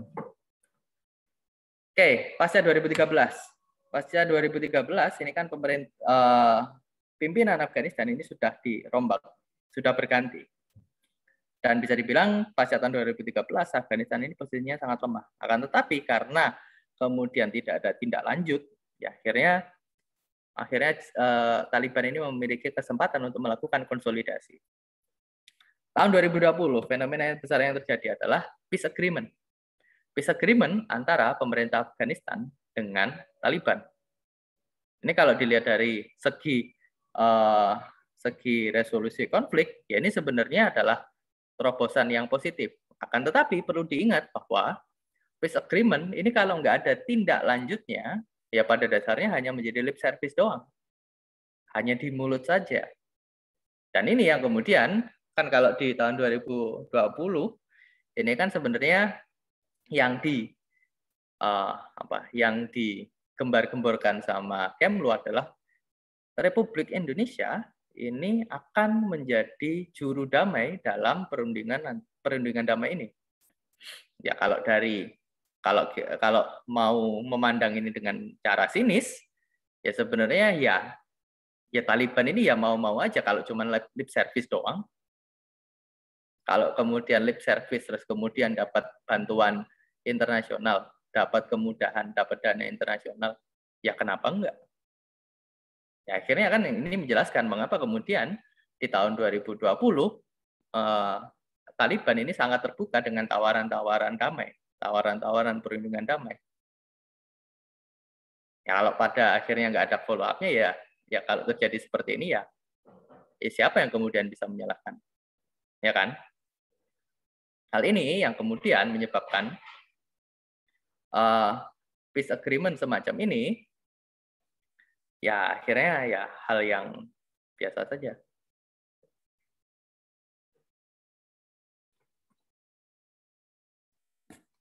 Hal yang ya ya akhirnya peace agreement kalau mau melanggar peace agreement ya nggak ada pihak yang mencegah peace agreement lagi itu. Kalau kemudian Amerika pergi ya ya ya nggak ada nggak ada nggak ya ini bukan sebuah perundingan damai yang yang yang bisa bertahan lama. Kalau kan konsepnya tujuannya perundingan damai ini kan sebenarnya menciptakan durable peace, perdamaian yang bisa bertahan lama. Ya ini pada akhirnya ya jadinya seperti ini kalau perundingan damai itu gagal. Terus kemudian kita lihat janji-janji politik dari uh, juru bicaranya Taliban. Janji-janjinya adalah Taliban ini akan berubah menjadi uh, uh, organisasi yang lebih moderat. Dia menjamin pendidikan terhadap perempuan.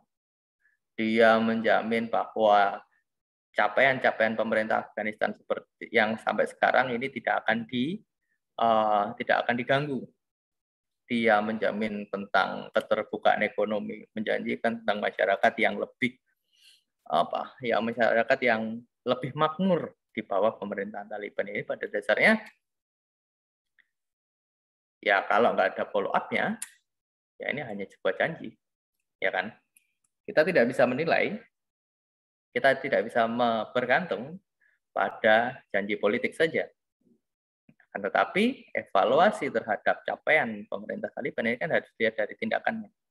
Untuk sekarang, ya yang muncul hanya janji-janji saja. Yang ini misalnya, tentang janji politiknya misalnya uh, bagaimana kemudian upaya Afghanistan, eh upaya Taliban agar tidak mendapatkan banyak penolakan dari masyarakat. Salah satunya yang dijamin adalah dia menjamin keselamatan. Yang dikhawatirkan dari yang dikhawatirkan dari masyarakat Afghanistan pada saat ini adalah ketika Taliban berkuasa, keselamatan mereka akan terganggu. Orang-orang yang diasosiasikan dengan pemerintah polisi, uh, tentara, terus kemudian pegawai-pegawai pemerintah, PNS. Ya, ini kan hidupnya terancam. Karena kalau yang dulu terjadi, ya mereka dibunuh. Ya kan? Tapi untuk saat ini, ini belum ada. Belum ada hal-hal seperti itu yang ditegaskan oleh Afghanistan ini kami tidak kami tidak mengincar uh, pegawai uh, tidak mengincar orang-orang yang berasosiasi dengan pemerintah. Kami hanya mengincar orang-orang yang berasosiasi dengan Amerika. Berarti di sini yang yang apa? Yang nyawanya ini pasti terancam adalah orang-orang yang berasosiasi dengan Amerika. Siapa orang-orang tersebut? Ya pegawai di ininya di markasnya Amerika Serikat, staf-staf lokal di kedutaan, Terus kemudian ini yang paling penting adalah translator, penerjemah. Orang-orang yang menerjemahkan, yang menjembatani hubungan antara pasukan Amerika Serikat dan masyarakat Afghanistan. Ini menjadi target utama dari Afghanistan. Dia menekankan bahwa bahwa secara khusus dia ngomong bahwa target kami adalah translator. Yang kami cari ini translator. Kami tidak akan membunuh polisi, kami tidak akan membunuh pegawai pemerintah, yang kami cari ini adalah translator. Nah, ini yang kemudian menjadi uh, bagi Amerika, ya ini kan beban moral bagi Amerika Serikat.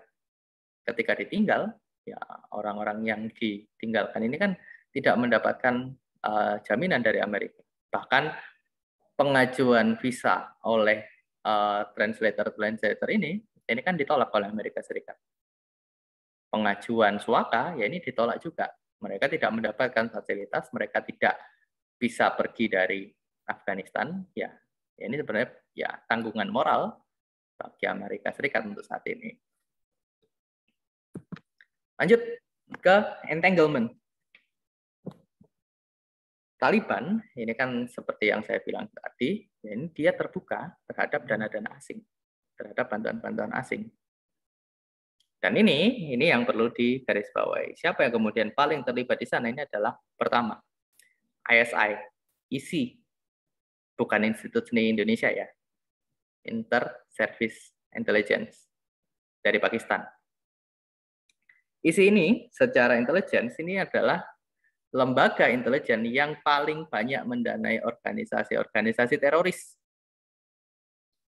Taliban ini didanai oleh uh, ISI.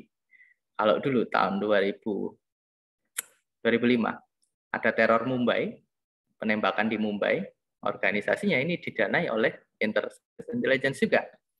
Lalu ketika terjadi aksi teroris di di mana? Di Filipina yang disinyalir mendanai ini adalah Inter-Services Intelligence. Kalau dilihat ISI ini ini sebenarnya adalah kasus yang menarik dalam hubungan internasional karena posisinya ISI ini lebih kuat bahkan dari pemerintah. Ketika 2000 berapa tuh? 2007 Perdana Menteri Amerika eh Perdana Menteri Pakistan ini kan meninggal. Dibunuh dalam aksi teroris. Jadi uh, ada ledakan bom yang kemudian ledakan ini ditujukan kepada Perdana Menteri Benazir Bhutto. Salah satu yang diduga kuat ini kan sampai sekarang belum terusut. Salah satu yang diduga kuat ini adalah ya ini berasal dari uh, berasal dari ASI karena dia melihat bahwa posisinya ASI di bawah Benazir Bhutto ini semakin terancam. ASI ini mau direstrukturisasi kalau nggak salah uh, pada beberapa bulan sebelumnya. Dan bisa dibilang ini ASI ini adalah lembaga intelijen yang yang lepas kontrol lah kalau saya kalau saya bilang. Ini kasus-kasus ya intelijen lebih kuat daripada uh, pemerintahnya. Dan akhirnya ini yang membuat ketika ASI ini membiayai organisasi-organisasi di luar negeri, ya nggak ada yang mengontrol. Pemerintah bahkan tidak bisa menghentikan pendanaan ASI ini. Ini yang salah satunya yang paling banyak masuk adalah ke Afghanistan, eh, ke Taliban. Pendanaan ini dalam bentuk dana segar, dalam bentuk cash, dan juga dalam bentuk uh, tenaga, dalam bentuk orang. Jadi uh, eh, ASI ini merekrut orang-orang yang berada di sana, orang-orang yang berada di Pakistan, yang tadi dari dari etnis Pashtun, Pashtun kan ada dari Afghanistan dan Pakistan juga. Etnis Pashtun yang ada di Pakistan ini direkrut untuk kemudian dikirimkan ke Afghanistan. Direkrut, dilatih, dikirimkan ke Afghanistan. Afghanistan tinggal men, tinggal mengoperasikan mereka. Dan juga kalau di ISI ini, ISI ini juga nggak hanya terlibat dengan organisasi teroris, dia juga terlibat dengan negara. Intelijen yang paling banyak digunakan oleh Amerika Serikat ini adalah dari ASI. Jadi bagaimana kemudian Amerika Serikat ini bisa menginvasi Afghanistan tanpa kemudian dia tahu apa yang ada di sana. Ya ini dia mengandalkan laporan intelijen dari ASI. Ketika kemudian uh, ketika kemudian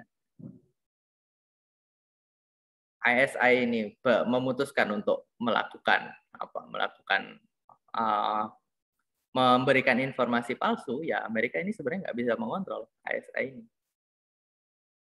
Dan ini yang banyak terjadi di dalam operasi-operasi penggerbekan uh, tempat persembunyian Usama bin Laden.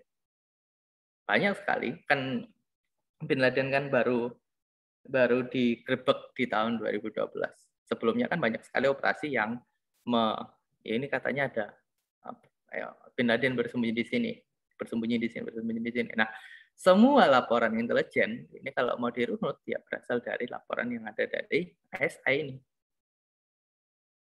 Jadi bisa dibilang uh, siapa yang kemudian paling bertanggung jawab atas atas Taliban untuk saat ini atas kondisi yang seperti ini ya ini adalah ada ada keterlibatan dari ASI.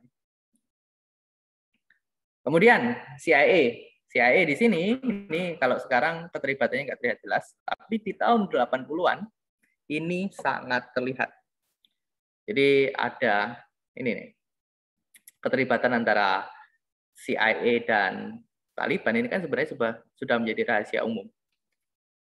Jadi ada senator dari Texas, Charlie Wilson, ini yang mengusulkan kepada CIA gimana kemudian kalau kita mendanai mujahidin yang ada di Afghanistan. Kita berikan mereka senjata. Ini yang kemudian difilmkan dalam film Charlie Wilson's War. Ini yang kemudian hasilnya apa? Hasilnya ya pendanaan senjata-senjata Amerika. Ini kalau di tahun 80-an, ini kan terjadi proxy war, perang tapi bukan perang secara langsung antara Amerika sama Soviet. Tapi Soviet ini melawan mujahidin yang didanai oleh Amerika Serikat. Dia menggunakan senjata-senjata Amerika, dia menggunakan misil-misil yang berasal dari Amerika yang kemudian kalau dibilang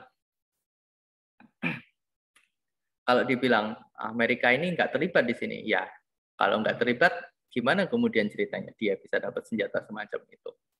Udah jelas kelihatan ada mereknya, udah kelihatan jelas ada asal pembuatannya. Tuh.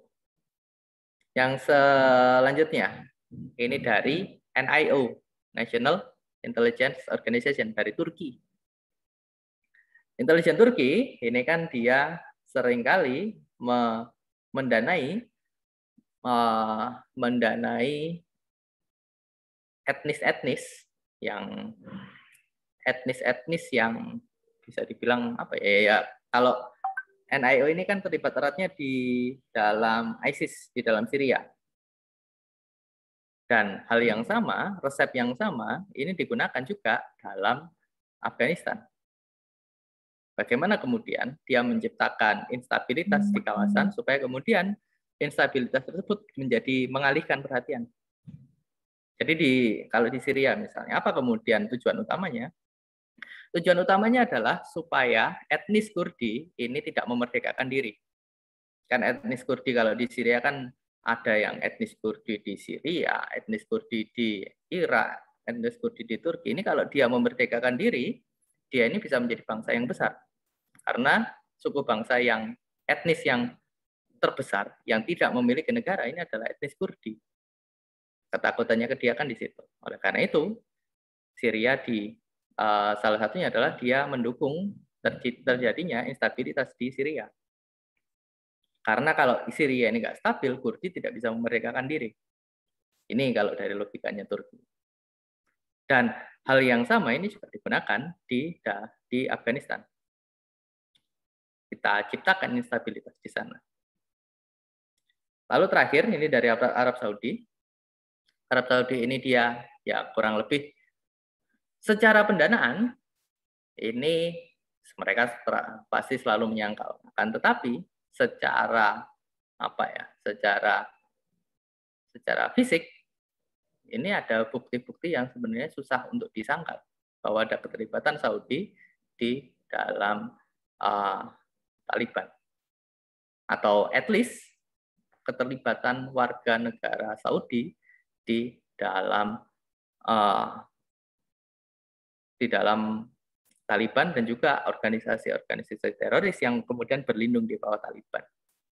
Ini yang kemudian bisa dibilang bahwa Taliban ini sebenarnya nggak berdiri sendiri. Dia memiliki banyak channel yang kemudian bisa dimanfaatkan lagi di era sekarang. Kalau kemudian Afghanistan, eh, si Taliban ini baru baru muncul, baru memegang kekuasaan, ya dia akan menggunakan jalan-jalan jalur-jalur yang sama sepertinya. Itu yang dari Taliban. Terus kemudian apa kemudian? Ke depannya gimana kemudian? Apakah Amerika bakal kembali? Sepertinya enggak. Amerika sudah cukup, sudah tidak memiliki apa ya, sudah tidak memiliki uh, tuntutan untuk kembali kalau kembali ini juga salah, nggak kembali ini juga salah. Yang paling bisa dilakukan oleh Amerika adalah menjamin keselamatan eh, orang-orang yang eksodus dari Afghanistan. Dia menjamin uh, menjamin eksodusnya ini bisa berlangsung secara lancar. Dia menerima orang-orang yang eksodus dari Afghanistan. Ini mungkin yang yang apa ya tindakan yang paling benar untuk dilakukan oleh Amerika Serikat sekarang. Lalu, apakah ini ada kesempatan untuk Cina? Cina, Cina di sini, di sini kan apa ya bisa dibilang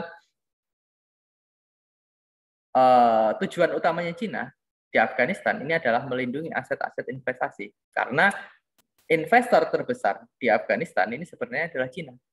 Cina membuat uh, jalur kereta, jalur kereta api, rel kereta api yang yang dari ya menghubungkan antara uh, Cina, Afghanistan, dan Pakistan. Yang akhirnya membuka akses bagi Cina ke Samudra Hindia. Ini yang kemudian menjadi tujuan utama bagi Cina. Dia ingin melindungi aset-aset investasinya. Kemudian, India's insecurity. Nah, ini yang kemudian cukup menarik. India ini adalah negara yang seharusnya paling merasa terancam dengan instabilitas Afghanistan. Uh, selama ini Afghanistan eh, India ini kan dia berusaha menciptakan stabilitas di kawasan.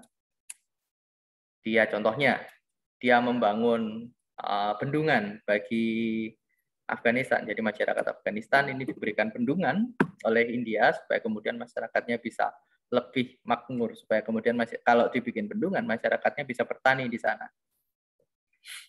Tujuannya apa? Ya supaya menciptakan stabilitas di sana. Kalau kemudian mereka kerja, kalau kemudian mereka mendapatkan taraf ekonomi yang lebih tinggi, di dengan itu mereka tidak akan mudah tergoda, bukan tergoda ya, tidak akan mudah untuk bergabung dengan organisasi-organisasi seperti Taliban. Investasinya yang dia ini banyak sekali. Akan tetapi kalau kemudian hasilnya seperti sekarang, Afghanistan dikuasai kembali oleh oleh Taliban, ya ini dia akan sangat sangat insecure dia akan ketar-ketir di sini. Lalu yang selanjutnya adalah a win for Pakistan. Iya.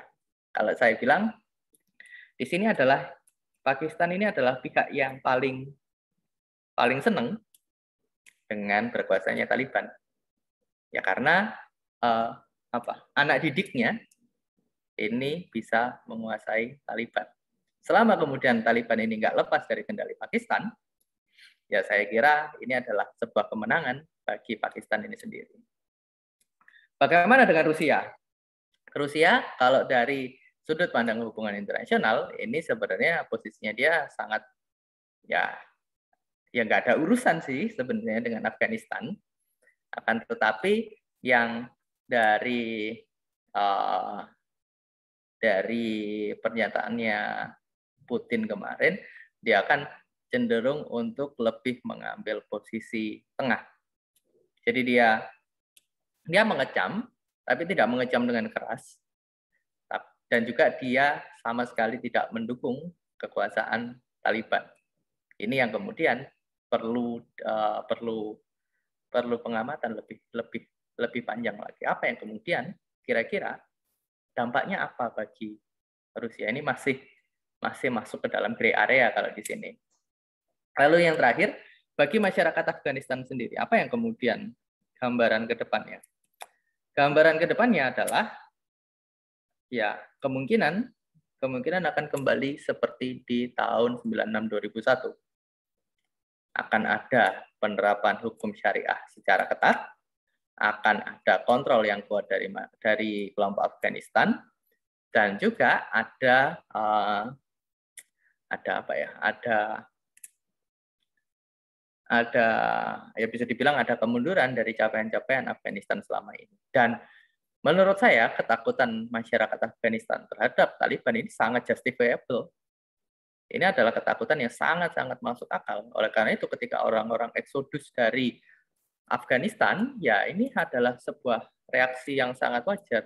Bahkan seharusnya yang dilakukan oleh masyarakat internasional, ya ini dia membantu eksodus tersebut. Yang paling bisa dilakukan untuk saat ini adalah memperhatikan tentang masyarakat eh, masalah kemanusiaannya di sana. Eksodus di sini ini kan sebuah isu kemanusiaan. Ini yang kemudian perlu dilakukan oleh masyarakat internasional dan dari sudut pandang hubungan internasional dan menurut saya juga ya ini adalah sebuah hal yang gampang sebenarnya. Cuman hal yang gampang ini kan belum tentu kemudian ini adalah hal yang diinginkan oleh negara. Oleh karena itu, selama ini sampai sekarang ini kan belum ada negara yang secara aktif mendukung eksodus tersebut, yang secara aktif membuka pintu terhadap masyarakat-masyarakat Afghanistan. Yang kalau kemudian hal ini dibiarkan ya pada akhirnya ya akan menciptakan sebuah krisis pengungsi yang baru. Oleh karena itu, sebelum mencapai pada taraf krisis pengungsi, ya ada baiknya ini harus di harus di harus di manage terlebih dahulu. Orang-orang yang eksodus ini mau eksodus ke mana? Ketika eksodus, apa yang kemudian difasilitasi di sana? Supaya kemudian ini mencegah terjadinya krisis pengungsi seperti halnya di tahun 2015.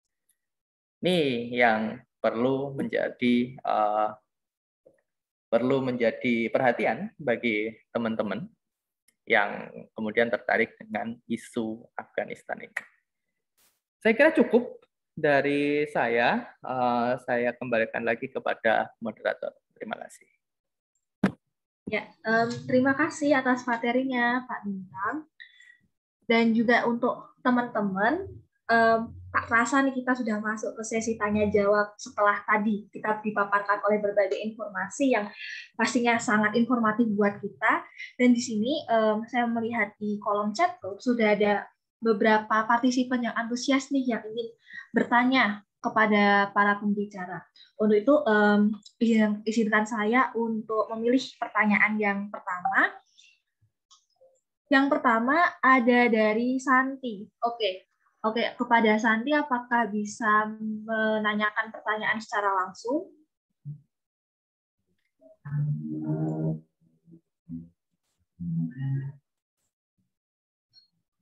Oke, untuk itu saya akan bacakan. Jadi um, pertanyaan ini untuk semua pembicara. Seperti yang dijelaskan dan dijabarkan oleh kedua pembicara bahwa keadaan yang terjadi di Afghanistan sekarang ini memang sangat concerning karena terjadi berbagai macam pelanggaran HAM dan tentunya membutuhkan bantuan kemanusiaan. Menurut kedua pembicara, dengan henggangnya Amerika Serikat yang selama ini menjadi polisi atau pihak yang membantu dalam menjaga keamanan, apakah akan menyulitkan international aktor untuk intervensi kemanusiaan? Lantas, menurut Bapak Ibu pembicara, bagaimana solusi yang realistis untuk dapat dilakukan oleh international aktor untuk intervensi kemanusiaan. Um, terima kasih Santi atas pertanyaannya. Untuk itu saya mau izinkan menjawab. Mungkin yang pertama dari Ibu Leni dulu. Bagaimana Bu Leni? Oh ya, bentar. Saya baca juga di chat.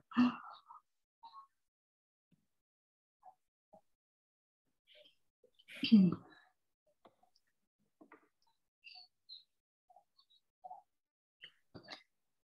Oke, um, sebenarnya ini pertanyaannya agak prediksi, apakah itu menyulitkan uh, bantuan internasional ke sana? Um, saya kira ini juga tergantung dari sosok pemerintahan Taliban ya. Um, apakah dia akan tetap um, ber apa ya bertindak sebagai kelompok Islam garis garis keras seperti sebelumnya atau dia akan menjadi moderat um, kalaupun uh, ada kemungkinan itu, ada kemungkinan-kemungkinan itu bentuk intervensi internasional mungkin akan terbatas, khususnya untuk kemanusiaan dan sebagainya. Ya, jadi pertanyaan ini masih sifatnya prediksi. Kita tidak tahu akan seperti apa bentuk pemerintahan Taliban ini ke depan. Karena memang kalau Anda melihat Hamas sekarang ya, saya mau bikin perbandingan sedikit dengan Hamas di Palestina. Sebelumnya dia juga dikenal sebagai kelompok Islam yang keras, yang menggunakan jalan pedang, katakanlah seperti itu, tetapi makin ke sini dia ingin merubah sosok itu masuk ke dalam pemerintahan dan berubah jadi moderat. Maaf ya, sana dulu deh. Um, karena begini, uh, analoginya adalah bahwa ibarat anak kecil itu pastikan dia masih labil. nanti menjadi dewasa dia akan lebih bisa berpikir bagaimana mendewasakan, bagaimana berpikir lebih stabil. Nah, itu juga yang terjadi di Hamas. Jadi dia akan lebih moderat. Tapi um, pertanyaan saat ini agak saya nggak berani menjawab iya atau tidak. Ini ada pertanyaan yang sangat abu-abu karena tidak tahu juga ke depannya akan seperti apa. Karena pernyataan Taliban ini kan membuat shock seluruh dunia internasional. Semuanya cabut dari sana. Tetapi apakah akan seperti korut yang sangat tertutup bahkan nggak bisa masuk melihat bagaimana keadaan kondisi kemanusiaan di sana kan kita nggak bisa masuk sangat terbatas sekali di korut itu apakah Afghanistan akan nanti ke sana um, apakah dunia internasional uh, bisa memberikan bantuan itu juga saya nggak bisa jawab. Mungkin akan seperti Myanmar ya. Dia hanya bisa mengakses, yang bisa mengakses ke sana mungkin negara-negara tertentu atau kelompok-kelompok aktor-aktor tertentu misalnya PBB atau bahkan Indonesia. Anda tahu bahwa masuk ke Myanmar itu satu-satunya yang diperbolehkan oleh pemerintah junta militer itu Indonesia untuk memberikan bantuan kemanusiaan. Hubungan kita dengan Taliban itu termasuk baik ya, uh, termasuk um, Yusuf Kala waktu itu mengundang Taliban juga pemerintah Afghanistan. Indonesia ingin um, keduanya ini bisa damai, bekerja sama dalam membangun um, Afghanistan. Jadi saya kira mungkin bisa, tapi mungkin bentuknya terbatas, hanya negara-negara tertentu tapi kita masih wait and see. Saya kira itu jawaban dari saya. Terima kasih. Ya, terima kasih ya jawabannya dari Bu Leni. Um, selanjutnya mungkin um, bisa lanjut ke Pak Bintang untuk menjawab pertanyaan dari Santi. Oke, terkait dengan intervensi kemanusiaan ya. Di sini kalau dari saya, intervensi kemanusiaan yang mungkin bisa dilakukan ini adalah intervensi yang dilakukan secara eksternal jadi yang diatasi ini adalah yang masyarakat Afghanistan yang keluar. Jadi kayak tadi seperti eksodus eksodusnya ya ini adalah intervensi kemanusiaan yang paling mungkin untuk dilakukan. Karena secara internal ini akses negara luar untuk masuk ke dalam Taliban eh ke dalam Afghanistan yang dikuasai Taliban sekarang ini sangat-sangat susah. Organisasi-organisasi kemanusiaan yang sering kali melakukan intervensi kemanusiaan ini ditolak Bahkan karena uh, pengalaman selama ini, ini sangat sedikit organisasi kemanusiaan internasional yang bisa masuk ke sana. Kalau kemudian organisasi kemanusiaan aja susah untuk menjangkau masyarakat Afghanistan, apalagi negara yang secara politis dia akan membawa beban politisnya sendiri. Kan kalau organisasi internasional kan relatif lebih netral relatif tidak membawa beban politik. Nah, ini yang kemudian yang kalau mau melihat yang paling mungkin dilakukan ya mengatasi masalah-masalah yang eksternal masyarakat eh, masyarakat Afghanistan yang eksodus ya ini di manage terlebih dahulu saja dan jaminan bahwa masyarakat ini bisa keluar kayak kalau di dalam kasusnya Afghanistan memberikan akses kepada bandara Kabul ya ini tetap ini yang mungkin bisa dijaga ya. Ini menjaga akses bandara Kabul ini supaya tetap terbuka. Itu sih. Ya, terima kasih untuk Pak Bintang dan juga Bu Leni yang telah menjawab pertanyaannya. Itu kita lanjut saja um, pertanyaan selanjutnya. Di sini saya um, pertanyaan dari Rizka Dava dari UNS. Untuk Rizka Dava, apakah bisa menanyakan pertanyaan secara langsung?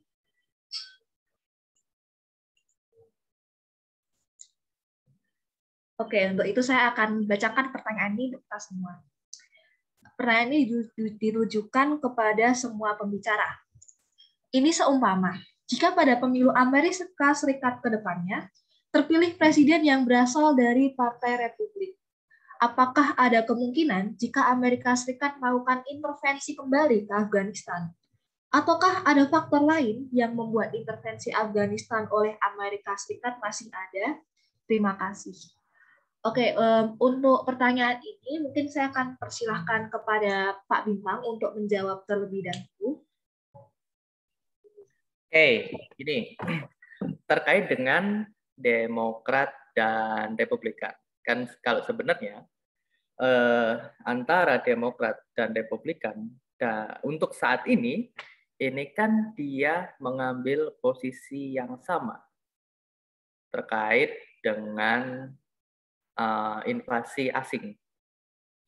Yang Demokrat, Demokrat di sini menolak adanya invasi asing, keberadaan pasukan Amerika di luar negeri karena ini melanggar kemanusiaan, karena ini melanggar kedaulatan uh, negara lain.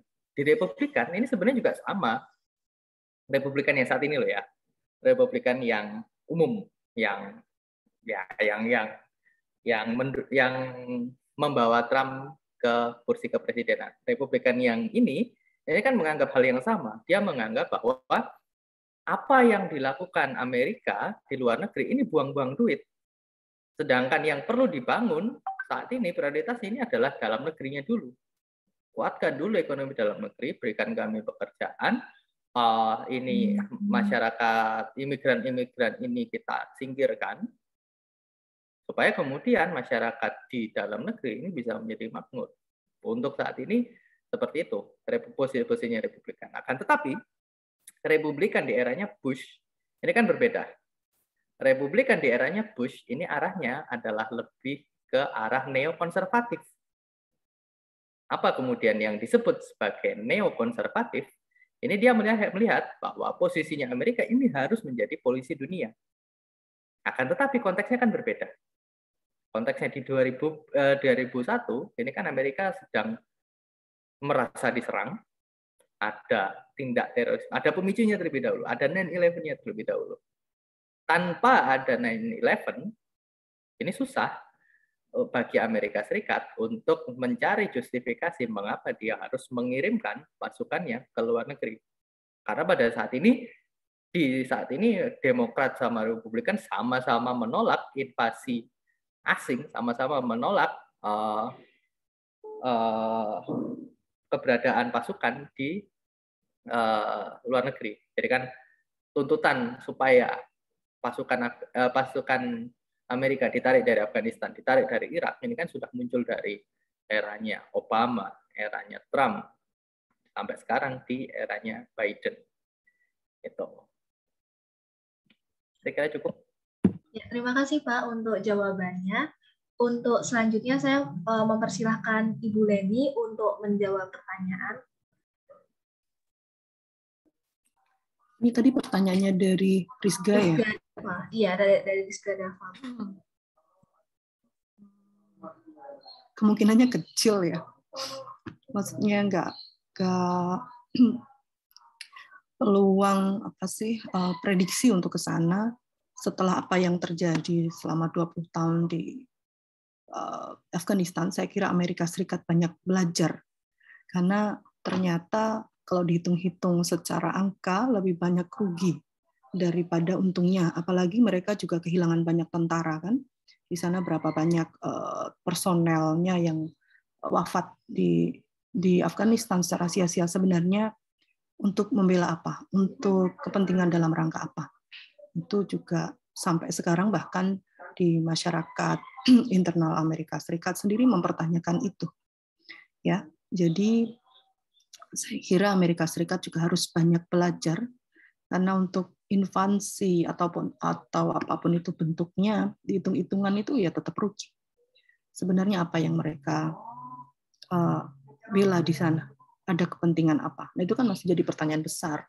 Apa sih sebenarnya motivasi terkuat uh, di Afghanistan? Secara resource juga nggak banyak.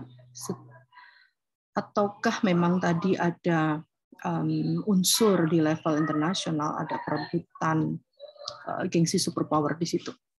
Kita juga tidak tahu. Um,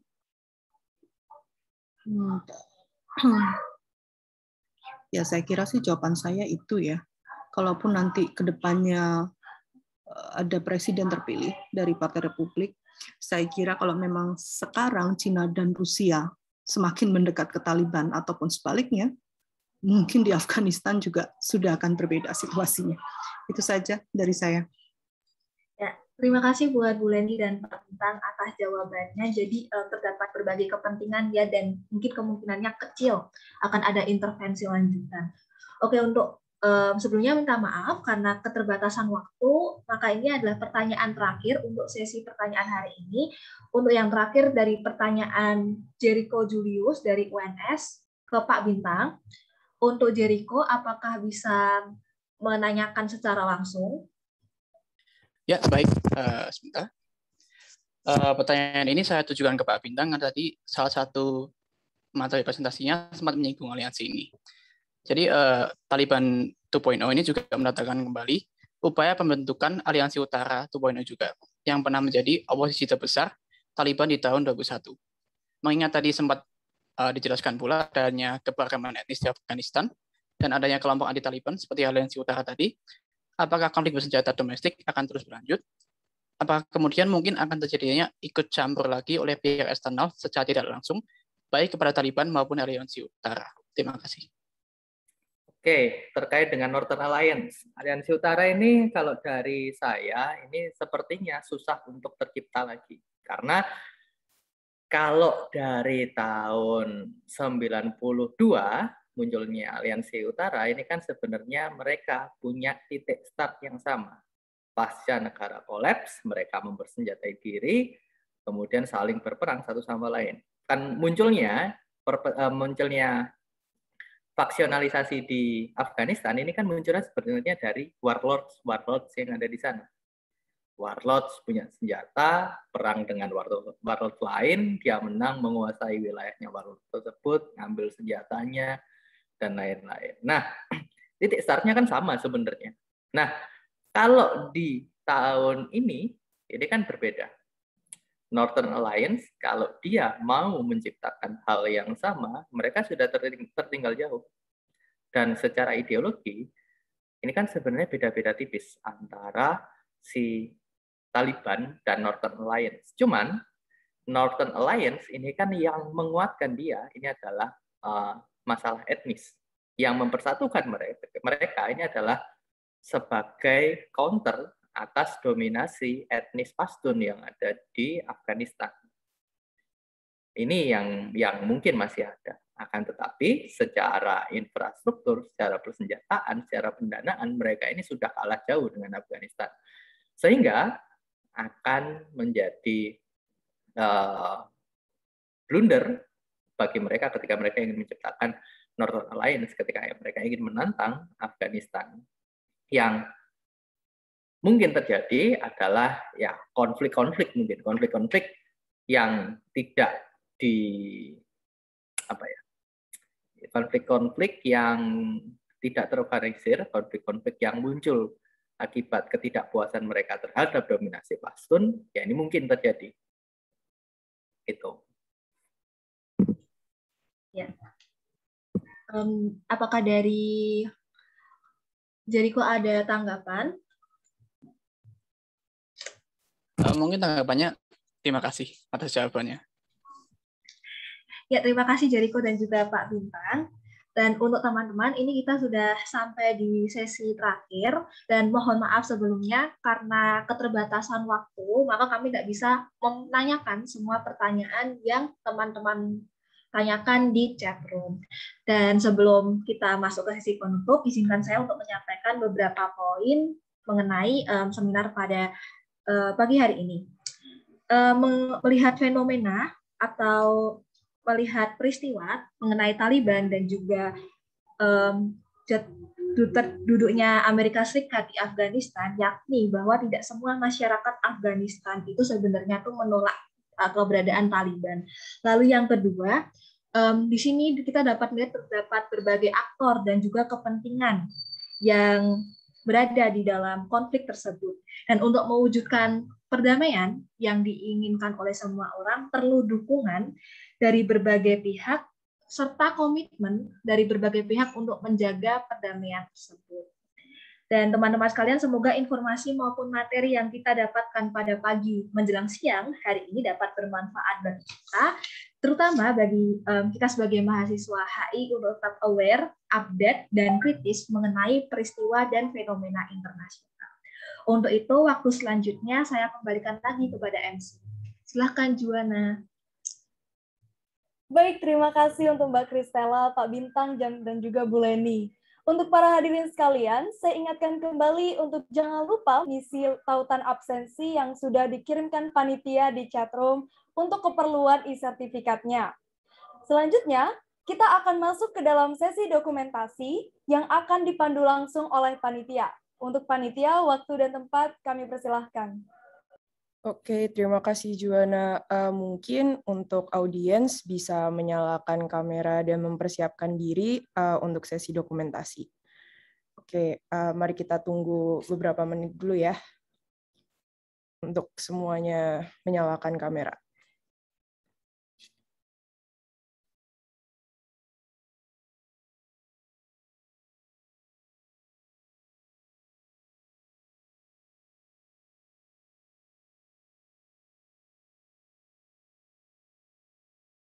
Uh, mungkin kita tunggu sampai jam 11.30 uh, ya uh, untuk menunggu yang ingin on cam. Terima kasih.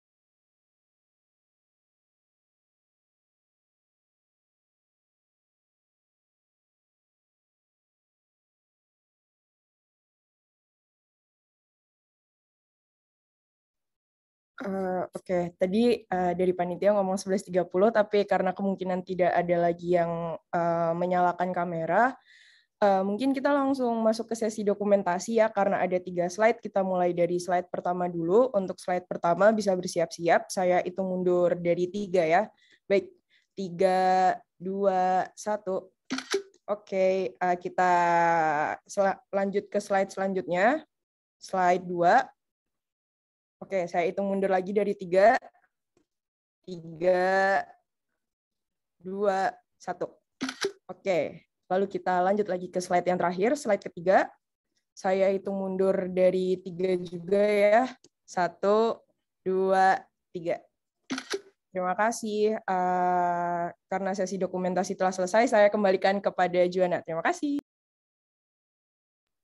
Baik, terima kasih Panitia. Karena sudah mengambil screenshotannya, saya ingatkan kembali untuk para hadirin sekalian, jangan lupa untuk mengisi tautan absensi yang sudah dikirimkan ke chatroom.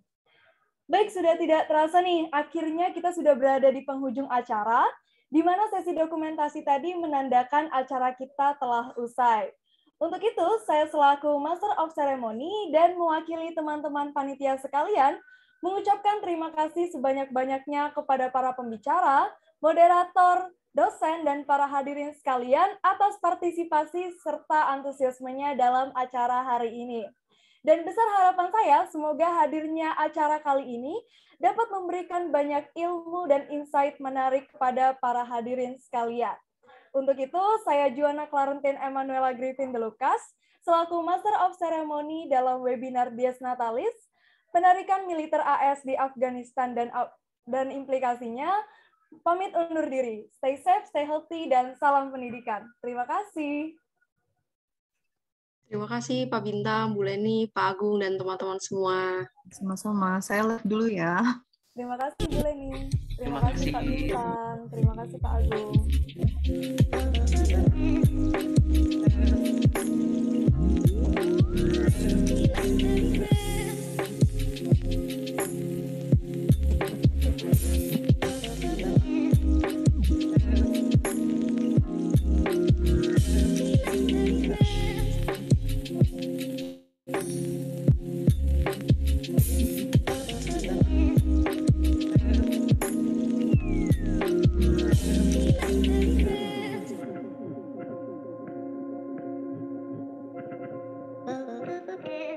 C, foto C. Mami mau foto C, C.